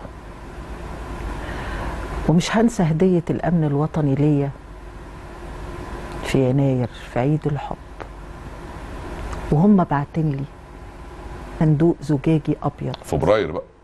في فبراير آه. مم. صندوق زجاجي أبيض. في الكاب بتاع عادل اللي سرقوه الخونة. الله. من العربية بتاعته. وفي مصحف. وعلم مصر. وعلم وشعار الداخلية والأمن الوطني. أنا حطاه في مدخل باب الشقة لأنه فخر ليا. طبعا. ويومها الداخلية سلمت السلاح الالي بتاع العسكري الحرس بتاع عادل اللي سرقوه من العربية فسلموه للفرقة. في مارس 2017 وأنا في مؤتمر الشباب في الإسماعيلية جاني مدير الأمن الوطني في الإسماعيلية. شاب انيق لابس بدلة وجي سلم عليا ازيك يا أستاذة سامية؟ قلت له أهلا يا فندم. أنا مش عارفة مين. مم. كل الزملاء والناس والشباب لابسين بدل يعني. قال لي انت مش عارفاني. فقلت له لا يا فندم. فراح قايل لي أنا فلان الفلاني. كويس. من الأمن الوطني. أبارك لك وأقول لك إن العنصر الثالث تم تصفيته وأنا في مؤتمر الرئيس. السنة اللي فاتت تم إبلاغي بقتل ثلاثة من خلية نفس الخلية المجموعة اللي خططت واللي نفذت للعكيزي وللشهيد اللواء عادل رجائي والعدد من عمليات الإرهابية تم تصفية ثلاثة وستة اتقبض عليهم التقيت بواحد منهم في قناة ال DMC. مع زميلنا آه، رضوان. وكان معايا والد الاثنين جني الاثنين جندي من ال- الأمن المركزي اللي تم اغتياله. ناس بسيطة و... قد إيه كنت سعيدة مع الناس دي. كانت بتتكلم ببساطة شديدة جدا. بيتكلم من قلبه فكلامه طالع لدرجة إن هم قالوا إيه إحنا هنسيب الأستاذة سامية تتكلم نيابه عنها على الهوا. يا بساطة غير عادية. والله زي ما بحكي لك كده. امبارح يصدر الحكم فيهم بالمؤبد الستة. في نفس اليوم اللي تم اغتيال فيه هذا التكفيري القيادي اللي أهله مبلغين إن هو مختفي قسريا هو والثمانية التانيين ما هو الاختفاء القسري بنكتشف إن هم. قادة إرهابيين. صحيح. صحيح. وربنا يريد إن يجيني الخبر ده. سبحان الله. عشان أعمل احتفال هتيجي فيه وكل مصر تيجي فيه. هعمل احتفال ما حصلش ومش هيحصل. في ذكراه يوم الثلاث 22 أكتوبر, أكتوبر. وكأن السماء بتقول لي هم اختلوه في العبور وإحنا هنقتل اللي اغتاله برضه في العبور. أي كلام ممكن أقوله سبحان الله. لرجال الشرطة البواسل. الحقيقة عاملين عاملين جهد ما عشان. كده بيتضربوا. صحيح. وأنا الحقيقة يوميا يوميا هم والجيش قدر الإمكان بحاول إن أنا أوصل للسادة المشاهدين ولو نبذة صغيرة من جزء يعني من كل للمجهود الخرافي اللي بيبذلوه. مش بس قطاع الأمن الوطني قطاع الأمن الوطني في الصدارة لأن هو في وش المدفع اللي بيحارب الإرهاب. لكن آه، كل قطاعات وزارة الداخلية الحقيقة كل ضابط وكل فرد أمن بينزل من البيت وهو شايل روحه على كفه قبل ما بيفتح الباب. ومراته مش عارفة هو راجع لها ولا لأ. قبل ما يفتح الباب. صحيح. هو مش عارف هيلحق يوصل لباب العمارة مظبوط. ولا هتجيله الرصاصة. صحيح. نفسي أقول للناس حاجة. اتفضلي. يا ترى ما فكرتوش وانتوا بتدوسوا شير على فيديوهات بتهين جيشي اللي جوزي شهيد منهم وشرطتي اللي فيهم شهداء. ما فكرتوش إن ده بيذبح أسر الشهداء. آه والله صدقت. ما فكرتوش إن إحنا بنموت ألف مرة وإنتوا بتعملوا شير لفيديوهات بتنال من بلدي ومن كرامة بلدي ومن جيشي ومن شرطتي. ما فكرتوش إن أنتوا بتذبحونا ألف مرة. أنا لحد النهارده يا تامر بسمع صوت المفتاح في ميعاد رجوع جوزي.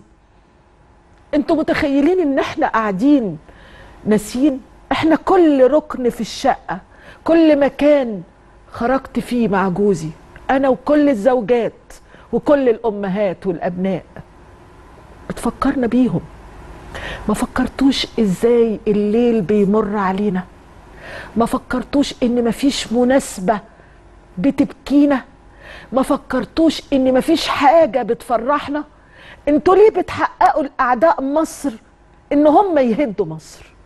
هم مين اللي بيعملوا الحملات الإلكترونية يا تامر؟ مين غير أعداء مصر؟ صحيح. أنا جاية النهارده عشان أقول ده للشعب.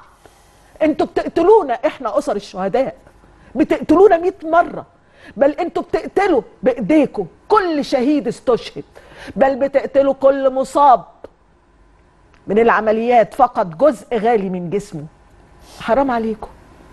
حرام عليكم تبوظوا كل مجهود الدولة المصرية. حرام عليكم ان أنتوا تدوا فرصة لأعدائنا. يا تامر أنا جوزي تم اغتياله ليه يوم 22 10 عشان كان مخطط 11 11 جوزي قائد فرقة منوطة بحماية القاهرة الكبرى وفرقة مدرعة عشان الفرقة التانية مشاة الاتنين بيحموا جوزي كان في نطاقه حوالي ست أو خمس محافظات والفرقة مم. التانية نفس القصة طيب لما يضربوا قائد فرقة وده كان تغيير نوعي في العمليات في العمليات صح, صح. جوزي أكبر رتبة وأكبر منصب بعد استشهاد الفريق عبد المنعم رياض. جوزي اتكلمت عنه وكالات الأنباء العالمية وعزت فيه. صحيح صحيح. لأنه مصاب جلل. مظبوط. لا بس أنا عايز أقف قدام نقطة أنت قلتيها يا أستاذ سامية و... والحقيقة أنا يعني أنا آسف بس ما كنتش عايز أقاطعك لأن أنا مقدر اللي أنت بتقوليه وحاسه و... وبتضامن معاكي فيه مليون في المية. كل كلمة أنت قلتيها وأنا بحترم طبعا مشاعرك وحتى بقدس دموعك دي لأن الدموع ال- الصادقة دي هي اللي بتوصل للقلب. لكن أنا الحقيقة متضامن معاكي وأرجو إن أنتوا تفهموا الكلمة المهمة اللي قالتها الاستاذ سامية وأنا قلتها لكم من كام شهر. لا من كام شهر من حوالي شهرين كده لما حصل الحادث المؤسف بتاع محيط القصر العيني. وبرضه طلعت بعض التعليقات وبعض الكومنتات وبعض الصور والفيديوهات السخيفة اللي عايزة تحبط الشعب وتكسر مقاديفه وتعمل فتنة. ووقيعة ما بين الجيش والشرطة والشعب. وأنا ساعتها والله ما كنتش أعرف إن ده الإحساس الحقيقي بس أنا كنت بتصوره. قلت لكم كده قلت كل واحد كاتب تعليق سخيف أو بنزل فيديو سخيف. قبل ما يدوس share يقوم حاطط صورة زوجة الشهيد قدامه. وساعتها يفكر هل هيجرؤ يدوس share ولا لا. يبص لها في عينيها كده وهي شايفاه وهي وهو بي share الفيديو اللي بيتهكم على جوزها الشهيد أو على حتى لو مش عسكري أو بتاع حتى من الشهداء اللي سقطوا من المدنيين في ال- الواقعة أو العملية بتاعت القصر العيني. بس الحقيقة أنا مهما كنت قلت لأن أنا الحقيقة أنا ما عنديش شهداء في أسرتي وده شيء يعني يخليني أتمنى إنه حتى ربنا يكتب لنا كلنا الشهادة ونبقى كلنا مشاريع شهداء لهذا البلد. لكن أنا كنت بتخيله لكن عمري ما كنت متخيل إنه بالواقع ده عند الأستاذ سامية وعند كل أسر الشهداء وزوجات الشهداء وأمهات الشهداء إلا لما طلع هذا الكلام هو ده الكلام اللي طلع زي الرصاص. لأنه أنا بصراحة وجعني وأتمنى إنه يكون وصل. في ناس وأنا عارف إن الاستاذ سامية هتتفق معايا في هذا الكلام. في ناس مغرضة الكلام ده مش هيأثر فيها. طبعا.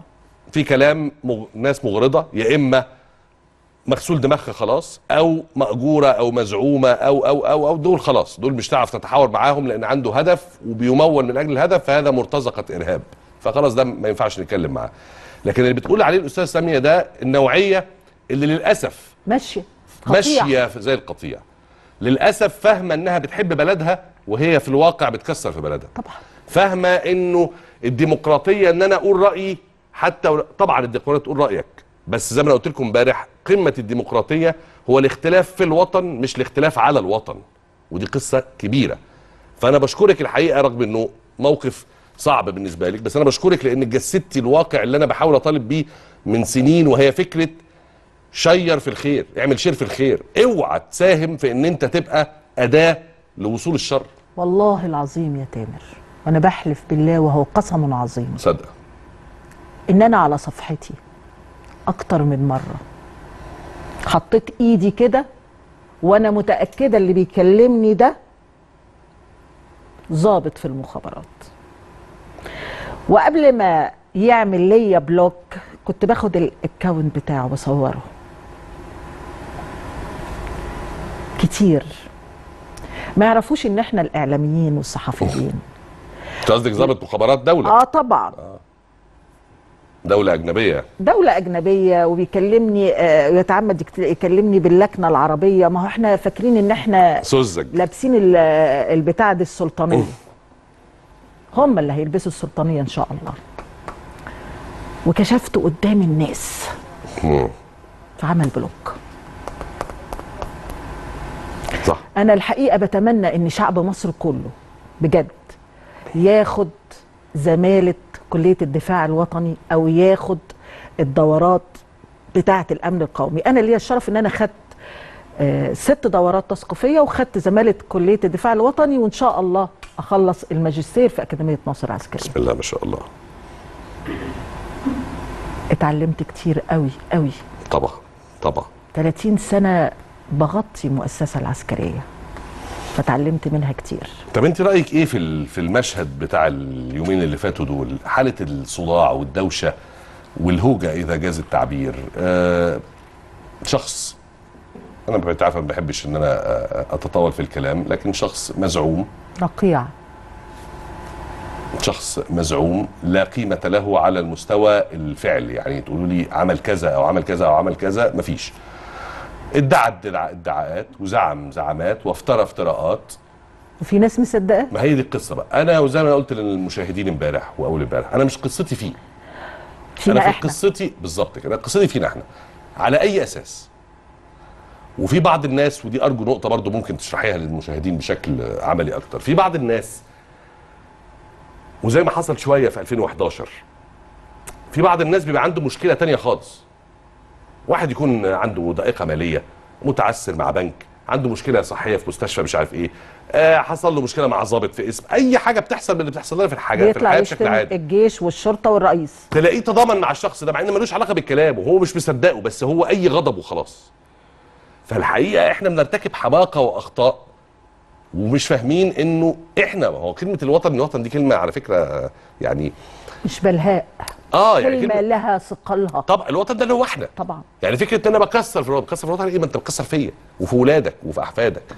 فأنا عايز أعرف فكرة ال- ال- حالة الضباب اللي عند دماغ ناس كتيرة دي. تتشال إزاي الضباب ده؟ نفضه زنا على عينيهم ونشوفوا الحقيقة زي ما إحنا شايفينها أو على الأقل زي ما إحنا بنحاول نشوفها ما حدش بيمتلك الحقيقة. يعني طب تيجي نعمل مبادرة من البرنامج النهاردة؟ اتفضلي. أنا بقول للسيد وزير التربية والتعليم والسيد وزير التعليم العالي وزير الداخلية والسيد السادة مدير الكليات العسكرية شرفوني بإن أنا أروح أدي لولادي طلبة كلية الشرطة بسنواتها والكلية الحربية. وأتمنى أن أنا أدي باقي طلبة الكليات العسكرية. وكان ليا سعادة باهرة لما شفت ولادي في كلية الشرطة في سنة رابعة السنة دي. وجدتهم السنة اللي فاتت في سنة تالتة جم يجروا عليا عشان يسلموا عليا. أنا كان نفسي أخدهم في حضني وأبوسهم. بس أنا عارفة إن الزي العسكري وهم موجودين وسط طبعا له هيبته مدنيين واحترامه. له هيبته واحترام لكن قلت لهم أنا نفسي أقبل كل واحد في جبينه. وهم بيقولوا لي يا ماما أنا بتمنى من ولادي طلبة الجامعات المصرية كلها مم. وطلبة ثانوي زي ما ولادي في الكليات العسكرية والشرطة. بيقولوا لي يا ماما هم كمان يقولوا لي يا ماما. أنا اتحرمت إن أنا أكون أم. رغم حبي الشديد للأولاد والأطفال. فأنا بعتبر ولاد مصر كلهم ولادي. بجد. وأنا بقول لمعالي وزير ال- ال- التربية والتعليم و تعليم العالي. العالي ولفضيلة الإمام الأكبر عشان الأزهر. أنا على استعداد أجوب كل كليات مصر ومدارس مصر. أدخل أديلهم محاضرات عن الحرب الرابع والجيل الخامس وما تتعرض له بلادنا.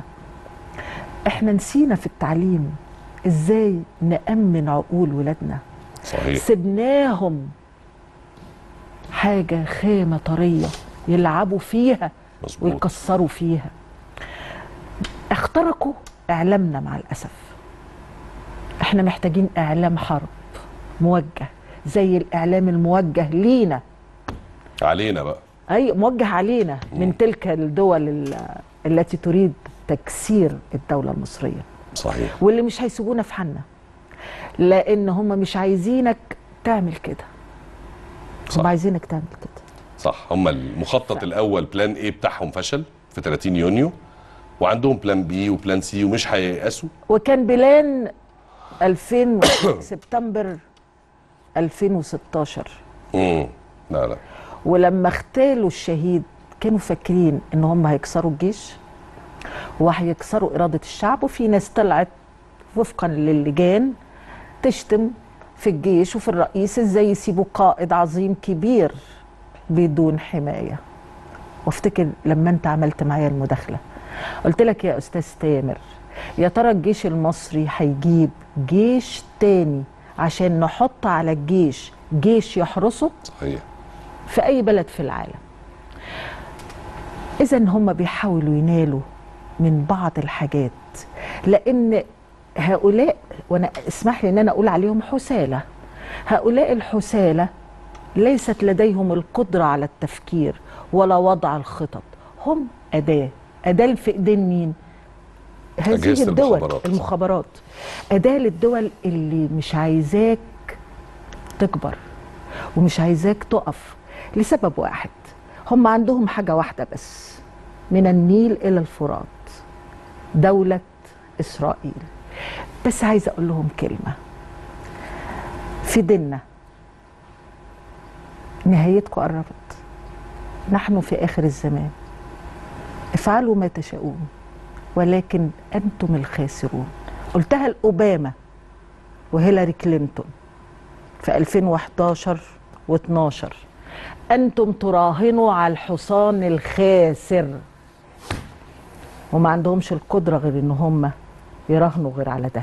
لأن هدفهم واحد من سنة 1800 وكذا لما اجتمعوا في بريطانيا صحيح. ووضعوا بروتوكولات الصهيون ووضعوا بتاع مؤتمر. هرتزل مؤتمر مش كده؟ آه. هو ده المخطط اللي هم ماشيين عليه وبيجددوه. وما كانوش متخيلين إن مصر هتنجح في 6 أكتوبر وإن إحنا هنقف على رجلينا. فقال لك نكسرهم بحرب داخلية. هم اللي قتلوا الرئيس أنور السادات وهم اللي قتلوا الملك فيصل وهم اللي قلبوا نظام الحكم في إيران.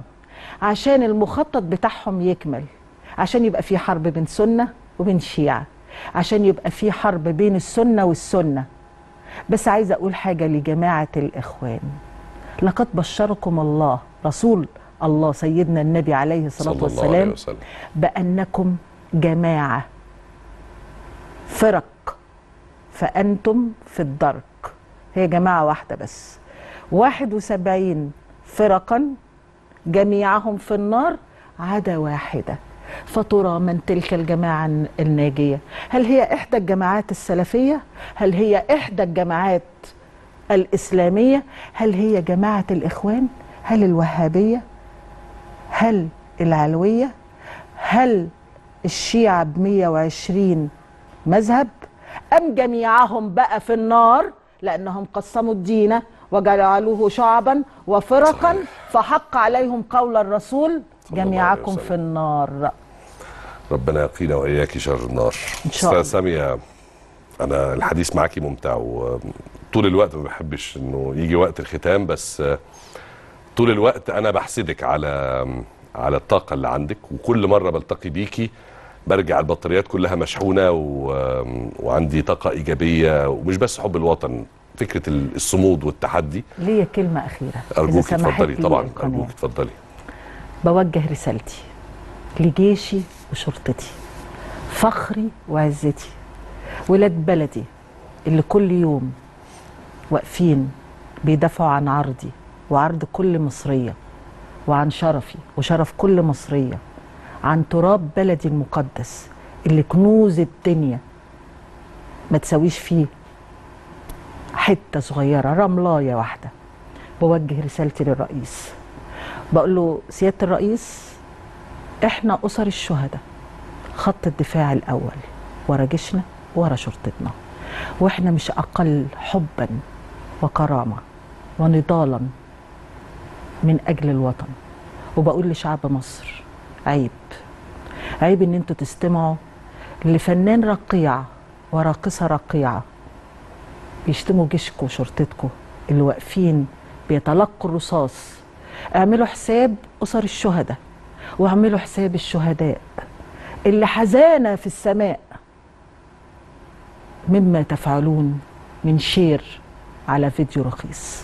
وتحيا مصر تحيا مصر تحيا مصر. تحيا مصر بشكرك شكرا جزيلا أستاذة سامية زين العابدين الصديقة العزيزة والكاتبة الصحفية الكبيرة وعضو الهيئة الوطنية للصحافة. والحقيقة إنه كل كلمة قالتها كانت خارجة من القلب. أنا شخصيا وصلاني ودخلت قلبي وأعتقد إنها هتعمل نفس المفعول. بشكرك. آه طبعا أنا بشكرك. شكرا جزيلا على اللفتة الرائعة. الأستاذة سامية يعني أنا أقل من إن أنا أكرم منها بس يعني آه، أفعالها دايما بقول لحضراتكم أستاذة سامية لا يمكن توقع ما تفعله. الحقيقة آه، لفتة رائعة أخذتني وأثرتني. حملة آه، بنفكر. بنفكر لبكرة يعني ممثلتها في الاستاذه سامية بتكرمني وأنا بشكرها شكرا جزيلا على شهادة التقدير حاجة حاجة محترمة جدا ولفتة جميلة جدا ويا رب دايما نكون عند حسن ظن الناس وال... والدولة والشعب. ونكون بنحاول بس إن إحنا نعمل حاجة مش بالكلام بالفعل نبني بيها البلد بشكرك يا. مدعوين كلكم يوم 22 10 في افتتاح المدرسة الرسمية ال- الشهيد اللواء عادل رجائي آه، المدرسة الرسمية للغات بالعبور. بسم الله ما شاء الله. واحتفال عظيم بانتهاء هذه الحركة ونحن منتظرين حركة أخرى. زي ما بيقولوا كده في رجال المخابرات المصرية ننتظركم في جولات أخرى ونحن المنتصرون. ومعانا إزازة العرق سوس وإنا لمنتصرون وأنا لمنتصرون بإذن الله. يرونها بعيدة ونراها قريبة. طبعا. شرفتيني يا أستاذة ودايما بسعد بيكي. أنا اللي سعيدة شكراً بيه جزيلاً. وشكرا لكل الناس وشكرا لكل زمايلي آه، اللي موجودين. ولادي لأنهم كلهم شباب صغير. أمل مصر ومستقبلها. إحنا مروحين وإنتوا اللي باقيين إن شاء الله. إن شاء الله. نورتيني رغم إن أنا ممكن أكون سنك أو أكبر بس ممكن أقول لك نورتيني يا ماما. يا ريت. أنا الكلمة دي نفسي أسمعها من الصغير والكبير. نورتيني يا ماما. ربنا يخليكم بشكركم شكرا جزيلا. هسيب حضراتكم مع الفقرة الطبية وبعدين زميلي محمود هيكمل معاكم جمعة سبت حد وأنا بستأذن حضراتكم في إجازة يومين الاثنين والثلاث اللي جايين. أنا مش موجود معاكم عشان عندي سفرة خارجية وإن شاء الله هرجع أقابلكم يوم الأربعاء اللي جاي في آخر النهار لما ربنا يدينا العمر. سيبكم دايما في أمان الله.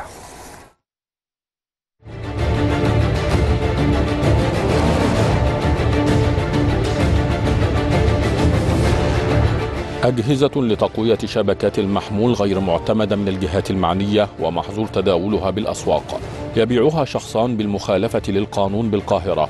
الإدارة العامة لشرطة النقل والمواصلات تمكنت من ضبطهما وبحوزتهما عشرون جهاز تقوية شبكات محمول وثمانية وخمسون هوائي داخلي وخارجي وثمانية وعشرون مشترك هوائي وأربع كاميرات صغيرة مزودة بشريحة محمول وسبع عشرة مرآة سيارة بها كاميرا مزودة بشريحة محمول ومئة وأربع وأربعون كاميرا أجهزة إنذار تعمل بالإنترنت وثلاثة مقوي شبكة مزودة بشريحة محمول.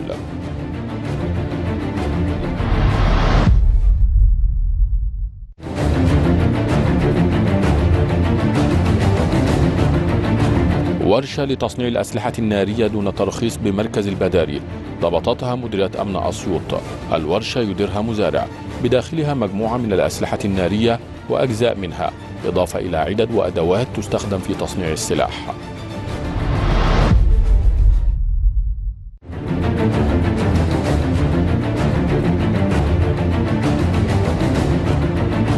نحو نحو 17 ألف لتر سولار وبنزين مدعم إضافة إلى 400 لتر زيت سيارات ضبطتها إدارة مباحث التموين بمديرية أمن القليوبية بمخزن بالخنكة. قام تشكيل عصابي تخصص في تجميع وتهريب المواد البترولية بتجميعها بقصد بيعها بالسوق السوداء. وهو ما يعد استيلاء على أموال الدعم المخصص من قبل الدولة لهذه المواد. وتم التحفظ على الكميات المضبوطة واتخاذ الإجراءات القانونية اللازمة.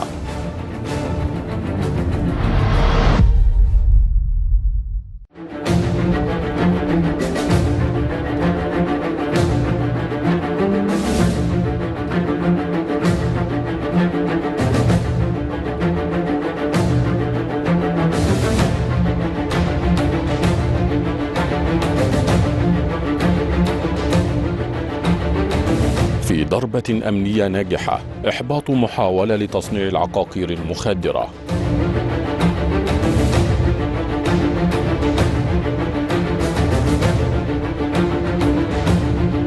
فقد استهدفت الإدارة العامة لمكافحة المخدرات بالتنسيق مع قطاع الأمن العام ومديرية أمن الغربية مخزنا لتصنيع مخدر الترامادول وإنتاجه بكميات كبيرة. ويقوم القائمون عليه من العناصر الإجرامية الذين تم رصد نشاطهم الإجرامي بترويجه حيث تم ضبط اثنين منهم.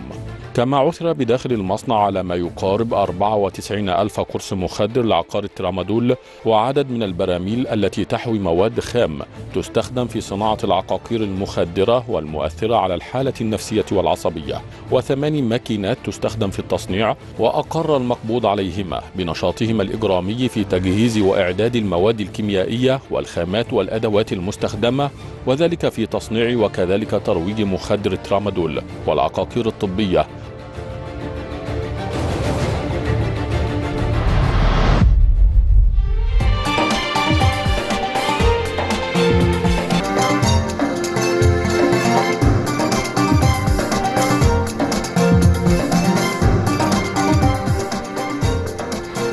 الرحمن الرحيم أهلا بكل مشاهدينا ومتابعينا وفقرتكم الطبية الأسبوعية في برنامج آخر النهار. النهارده حملة سلامتك هتهتم بموضوع أعتقد إنه هيهم كل الأمهات وهو موضوع نقص هرمون النمو عند الأطفال.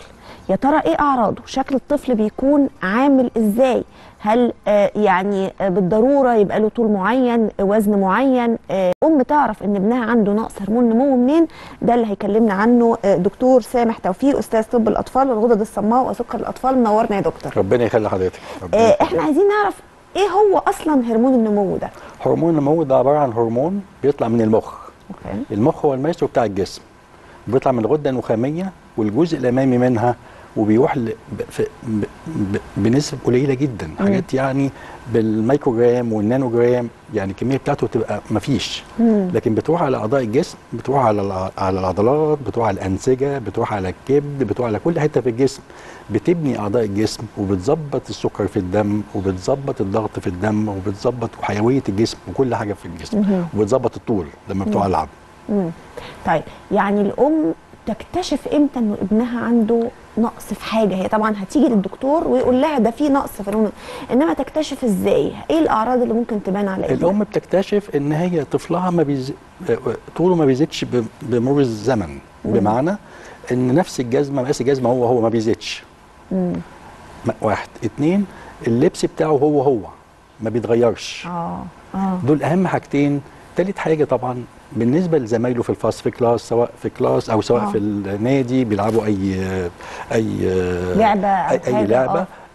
الطفل يعني في فرق بينهم. مقارنة بينه وبين دفعته أقل شوية. أقل منهم. بالظبط. طيب أقل شوية ولا أقل كتير؟ لأنه ممكن يبقى طبيعي إنه مثلا في الرينج القصير واد قصير. ما هو ده اللي بيخلي الأم تشك. لما الأم بتشك بتروح للدكتور بتاعها بقى عشان يبدأ يحدد لأن ساعتها بيتحط على منحنيات. بيانية آه، آه. للطفل آه، آه، للجنس والسن ودي حاجات في مصر مخصوص بالنسبة لنا لأن مم. كل منطقة بيبقى ليها المنحنيات بتاعها وبتتابع الطول مع الدكتور وتشاف هل في زيادة في الطول مم. مناسبة ولا لأ مم. مم. طيب يعني هي كده مش هتقدر تحدد إن هو عنده نقص هرمون نمو ولا لأ إلا لما يدخل مدرسة هي- ويتقارن هي بتشك آه بيبقى عندها شك إن احتمال يكون عنده نقص هرمون نمو.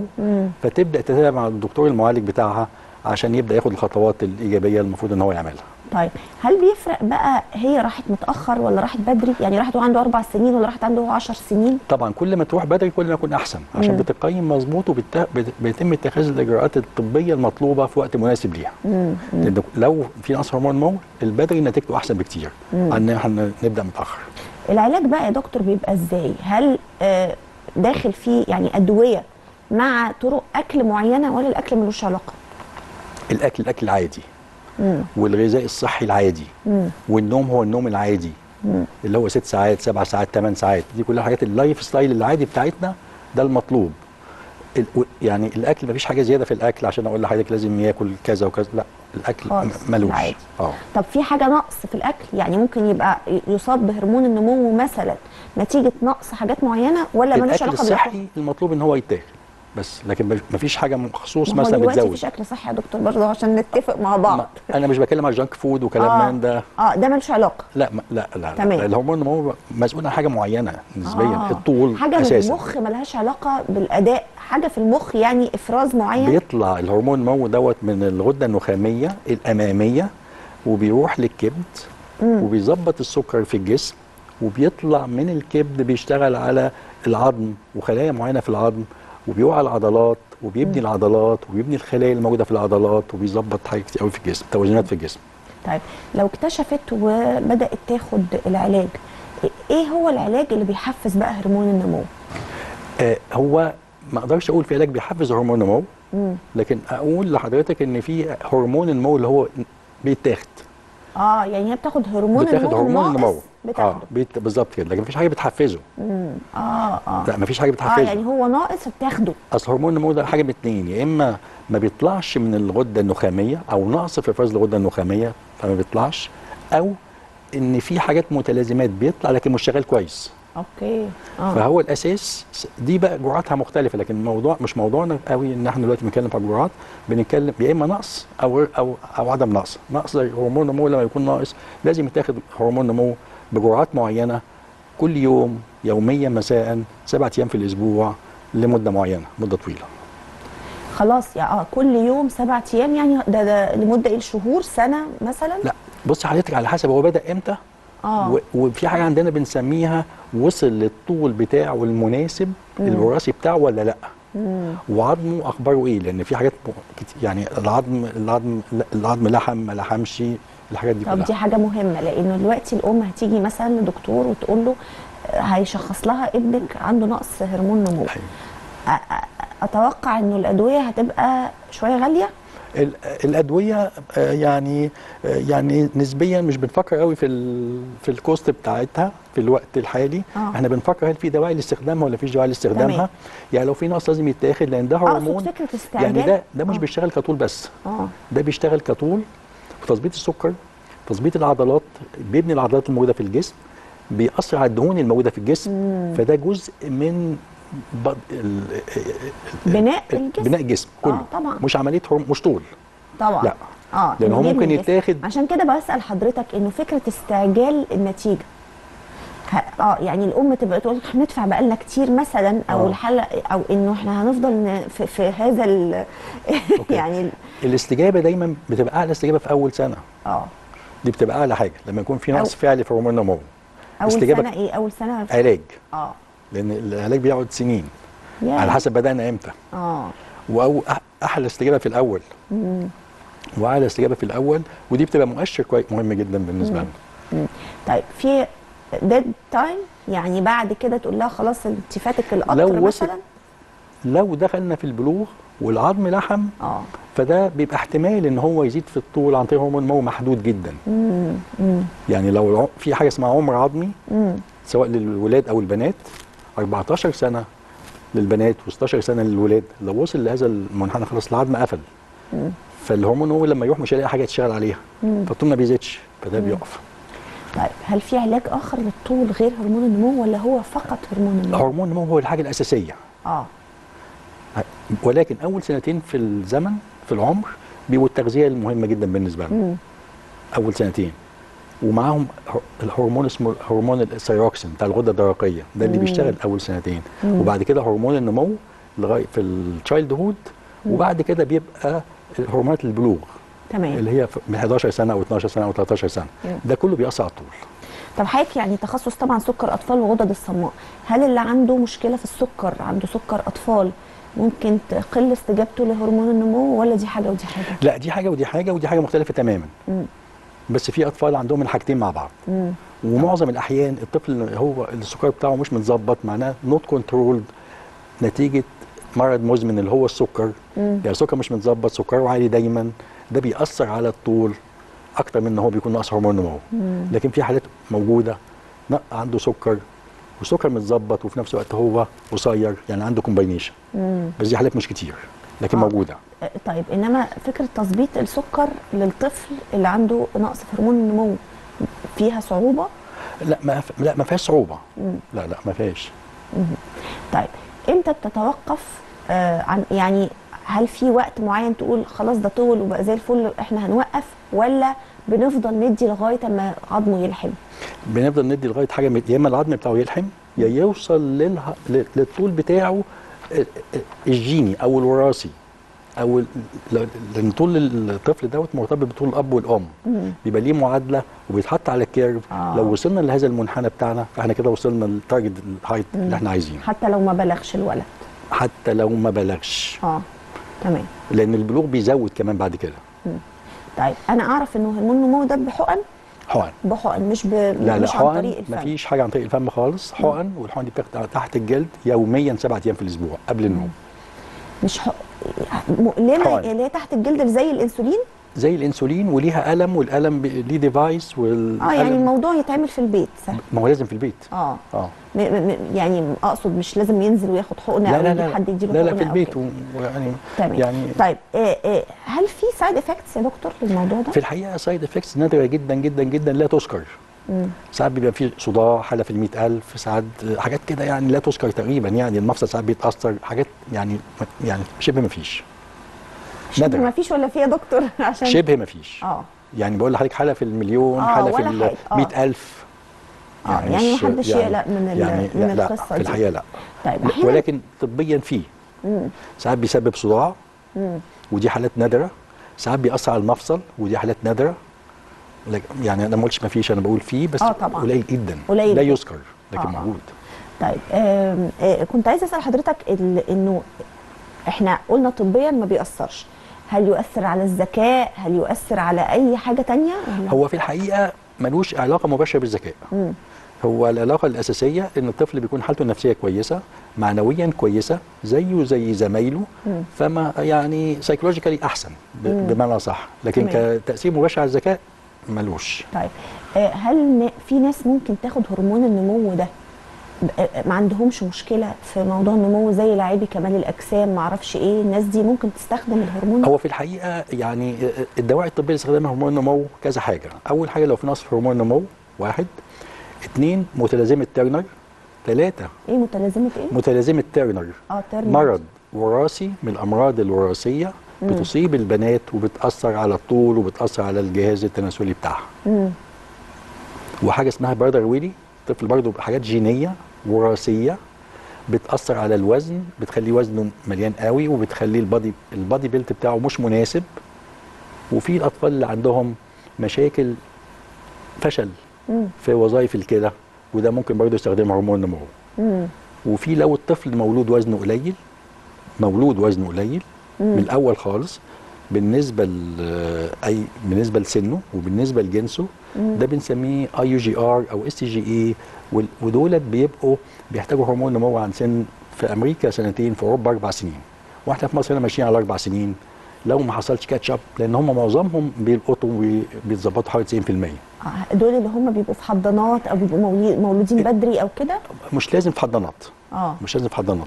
لكن في الأطفال بقى اللي ممكن يكونوا في الحضانة حضرتك بتتكلمي عليهم دولت لو في نقص هرمون نمو ونقص غدة نخامية من ساعة طفلنا بيتولد فساعات بيبقى عنده السكر قليل كمان. آه. السكر قليل وساعات بيتشخص بيبقى في عنده مشاكل في الحتة في النص دوت. آه. من أول إن هو بي- بيبقى أصفر آه. وبيبقى الغده الدرقيه عنده برضه متأثرة. فده والسكر بتاعه بيقل. فساعتها بندي هرمون نمو. اللي هي من الأول اللي هو بياخد من, من الأول أول خالص. سن أربع سنين. بالنسبة لطفل حديث الولاده دوت بالذات لو عنده نقص هرمون النمو بيأثر على السكر بيخلي السكر هبطان آه. ممكن ياخده من الأول خالص من أول ما اتولد من الأول من الأول خالص آه ودي بس دي حالات نادرة آه طبعا طيب آه زي برضه في حالات لا- يعني في حالات لو في لا قدر الله أورام لو طفل بياخد لا قدر الله إشعاع لو طفل آه. لا قدر الله بياخد علاج كيماوي آه. ده كله بيأثر على الغدة النخامية ولازم الطفل ده بياخد برضه علاج هرمون نمو والا عمود الفقري بتاعه بيتاثر والعظم بتاعه بيتأثر. بيبقى قصير آه. والأطفال اللي عندهم فشل كلوي لأن الفشل الكلوي بيأثر ده بس الفشل الكلوي ما بيكونش عندهم في الحقيقة نقص في هرمون النمو ولكن هرمونه بتاعه. وظيفيا ما بيبقاش كويس فبياخد هرمون نمو خارجي. طيب بالنسبة لل- للأطفال اللي عندهم سكر بقى يا دكتور أيوه آه يعني طريقة علاج الطفل هل هل بيتصنف من النوع الأول أو من النوع الثاني ولا بيبقوا كلهم من النوع الأول هو الأطفال ال majority معظمهم من النوع الأول مم. في بقى النوع الثاني بقى بس نسبة قليلة جدا مم. يعني بس يعني بس بتزيد كل شوية عشان السمنة وعشان ال junk food اللي حضرتك عارفاه آه. وعشان ال diet والكلام ده كله مهم. طريقة السيطرة على على الطفل اللي عنده سكر بقى الموضوع أسهل من من الكبار ولا أصعب آه هو هو مش أسهل وأصعب هو على حسب الأب وعلى حسب الأم وعلى حسب الطفل والطفل الدنيا بالنسبة له مش سهلة طبعا ولا سهلة بالنسبة للفاميلي مم. يعني عشان نقول مثلا يتشكشك آه، مثلا ثلاث أربع أربع مرات في اليوم عشان ياخد أنسولين مع كل وجبة تلات ومرة ياخد آه، جرعة آه، على طويلة المف... طويلة طويلة المدى. طبعا بيبقى كتير قوي. وبعدين لازم يعمل تحليل سكر في الدم ثلاث أربع خمس ست والمفروض سبع مرات في اليوم. مم. الدنيا ما هيش ما بتبقاش بسيطة. طب حضرتك ممكن تنصح الأم وبالذات في دخول المدارس؟ يعني إحنا دلوقتي دخول المدارس الطفل عنده سكر أيوه آه، آه، المفروض إيه بيبلغوا المدرسة لأنه الولد ممكن ياكل أي حاجة من صحابه يعني الموضوع هو إيه؟ فعلاً بيتسيطر عليه إزاي لازم يبلغوا المدرسة إن ابنهم عنده سكر ولازم يخلوا معاه الجهاز بتاع قياس السكر في الدم موجود في المدرسة آه. آه. عشان لا قدر الله حصل هبوط للسكر أو أي حالة غير طبيعية يقدروا يتعاملوا معاه سواء ب 100 مللي عصير سواء 100 ثلاث معالق آه، أو شوكولاتاية أو أي حاجة من الحاجات دي عشان ترفع السكر في الدم مم. دي حاجة أساسية طيب يعني ده آه، آه، المفروض الأم تبقى متعلمة آه، إزاي تسعف ابنها لو جات له آه، طبعاً. يعني هبوط في السكر وهي في البيت. طبعا طيب طبعا. منين عنده سكر؟ أنا برضو دي حاجة مش فاهماها ومحتاجين حضرتك تفهمها. لنا طبيا. إنه المفروض إن الولد ما ياكلش سكريات وحلويات آه. وفي نفس الوقت علاجه في الوف... إنه ياكل شوكولاتاية. لا أنا بتكلم في نق- في حالة هبوط السكر في الدم. آه. نقص السكر في الدم. نقص السكر في الدم هبوط السكر في الدم ده طفل دايخ وعرقان وقلبه بيدق جامد. ده بيجي من إيه؟ وشوية بشوية الوعي بتاعه مفيش. طبعا. فلازم ياخد سكر عشان يظبط السكر حاجة سكرية عشان يظبط سكر في الدم. زي ما قلت لحضرتك 100 سم عصير آه، 100 مللي بيبسي الحاجات دي كلها أو آه. حتى شوكولاتاية ثلاث معالق سكر معلقه عسل معلقه. مربى ايا كان الأسلوب طيب عشان السكر يبقى طبيعي الحلويات والحاجات دي تبقى خطر عليه ال- لا يعني هو الطفل لما لما عنده سكر بيبقى ليه نظام غذائي معين. وليه نقط معينة بياخدها على مدى 24 ساعة عبارة عن ثلاث وجبات وثلاثه سناكس ما بين الوجبات فدي حاجات وفيها شوكولاتات وممكن فيها مربى وفيها كل حاجة بس من خلال النقط اللي محطوطة له والمواد اللي هو المفروض إن هو ياخدها مدى يعني 24 ساعة بيدخل في جسمه السكر كل حاجة العادي. كل حاجة بتخش بس. بي- بتخش له الحاجات اللي هي مطلوبة طبيا. المغذية ليه هو طبيا مش الحاجات زيادة إحنا متعودين على الأكل زيادة عن اللزوم إيه الحاجات الممنوع منها هو في الحقيقة أنا إحنا مش بنمنع حد إن هو ياكل إنه إنه ما ياكلش أو ياكل لأ كل حاجة إيه مسموح؟ بيها مم. سعرات حرارية معينة وكميات معينة على مدى ال 24 ساعة مم. بس لكن ما فيش حاجة ما فيش. آه إحنا بنقنن بس. يعني آه، مثلا ما- حدش ما حد يعني مثلا يعني ما حدش مثلا آه، يعني لو افتراضا مثلا البرتقانيه مثلا حوالي 15 جرام ما فيش ما حدش هيقعد ياكل كيلو برتقان وهو. قاعد. هي دي المشكلة عندنا. هم يا ريت ياكلوا برتقال يا دكتور. يعني واحدة. يعني ماشي. مش مش مش لا ما حدش هياكل طبعا برتقال كتير إنما مثلا الموز ال- الكيك الشوكولاتة الشاي باللبن الحاجات دي معالق السكر في اليوم. ما هو ده كله ينطبق. نفس المبدأ إن. الوسط كويس الوسط برتقانية تفاحية. إنما يصحى يشرب شاي بلبن زي إخواته مثلا ياكل بسكوت مع الشاي يا- ياكل آه، كيك طبعا ياكل طبعا طبعا. آه ياكل الحاجات دي. بياكل طبعا. بس يبقى مظبط ال- ال- الإنسولين. ما هو ولا؟ ما, هو الإنسولين بيتظبط على حسب الأكل اللي بيتاكل. يعني بيتاخد مثلا جرعه الإنسولين على حسب كمية الأكل اللي بياكلها ونوعية الأكل اللي بياكلها عشان تحرق السكر عشان السكر ما يزيدش وما يحصلش هبوط مم. ففي توازنات ما بين الاثنين. يعني كده بس ممنوع الإفراط إنما أي حاجة مش ممنوع لا ما فيش ممنوع طبعا أمال ليه حاسة انه إنه الطفل اطفال ال- دول محرومين لا مش محرومين إحنا بس متعودين على الحاجات الزيادة فاللي آه. متعود على حاجة الزياده بيحس إنه محروم آه يعني ما, نجيبش كحك مثلا في العيد ولا ياكل كحك في العيد؟ هو بياكل كحك وبياكل وبياكل بسكوت وبياكل كل حاجة. يعني حضرتك ما ال- ال- الأجانب بيعملوا إيه؟ مم. لما بيروحوا محل يجيبوا مثلا بطيخ ما بيجيبوش بطيخه بيجيبوا صحيح بيجيبوا slice شقة. slice صحيح. البيتزا ما بيجيبوش بيتزا بيجيبوا slice بيتزا مم. يعني فلا يعني الدنيا بتكون من- منظمة وده الكمية الكافية للنمو الرائع. طيب هل. في فاكهة معينة ما يستحسن الطفل ما ياكلهاش في حالة إنه عنده سكر لا هو ما فيش فاكهة معينة كل حاجة بس يعني مانجا. ياكلها؟ المانجا أكتر حاجة فيها سعرات حرارية هي المانجا. أيوه ما أنا بقول. يعني المانج- المانجاية حوالي 45 جرام 50 جرام آه. مثلا يعني. لكن مثلا الفراولة 10 حبات فراولة يساوي 15 جرام. آه فياكل هي فراولة. بتتحسب. إنما المانجا لا. إنما لا بتتاكل. بس آه. بس 45 جرام 50 جرام. ده مش ما بتاكلش بتتاكل. تمام. طيب النشويات اللي إنه بتتاكل لازم تتاكل مم. حوالي 50% من الأكل نشويات مم. و15% من أكله بروتين 15 ل 20 وحوالي 30% من أكله دهون مم. طيب وهيفضل طول عمره بياخد الأنسولين وبيظبط الأكل هل. في أطفال ممكن تظبط الأكل بس ولا لازم الأنسولين لازم الأنسولين طالما عنده طيب آه، طيب النوع الأولاني لازم الأنسولين الحقيقة أنا بشكر حضرتك شكرا جزيلا على المعلومات القيمة. دكتور سامح توفيق أستاذ طب. الأطفال وغدد الصماء سكر الأطفال. شكرا جزيلا نورتني. ربنا يخلي حضرتك. شكرا جزيلا بشكركم مشاهدينا ونشوفكم على خير في الحلقة الجاية إن شاء الله. شكرا جزيلا. شكرا.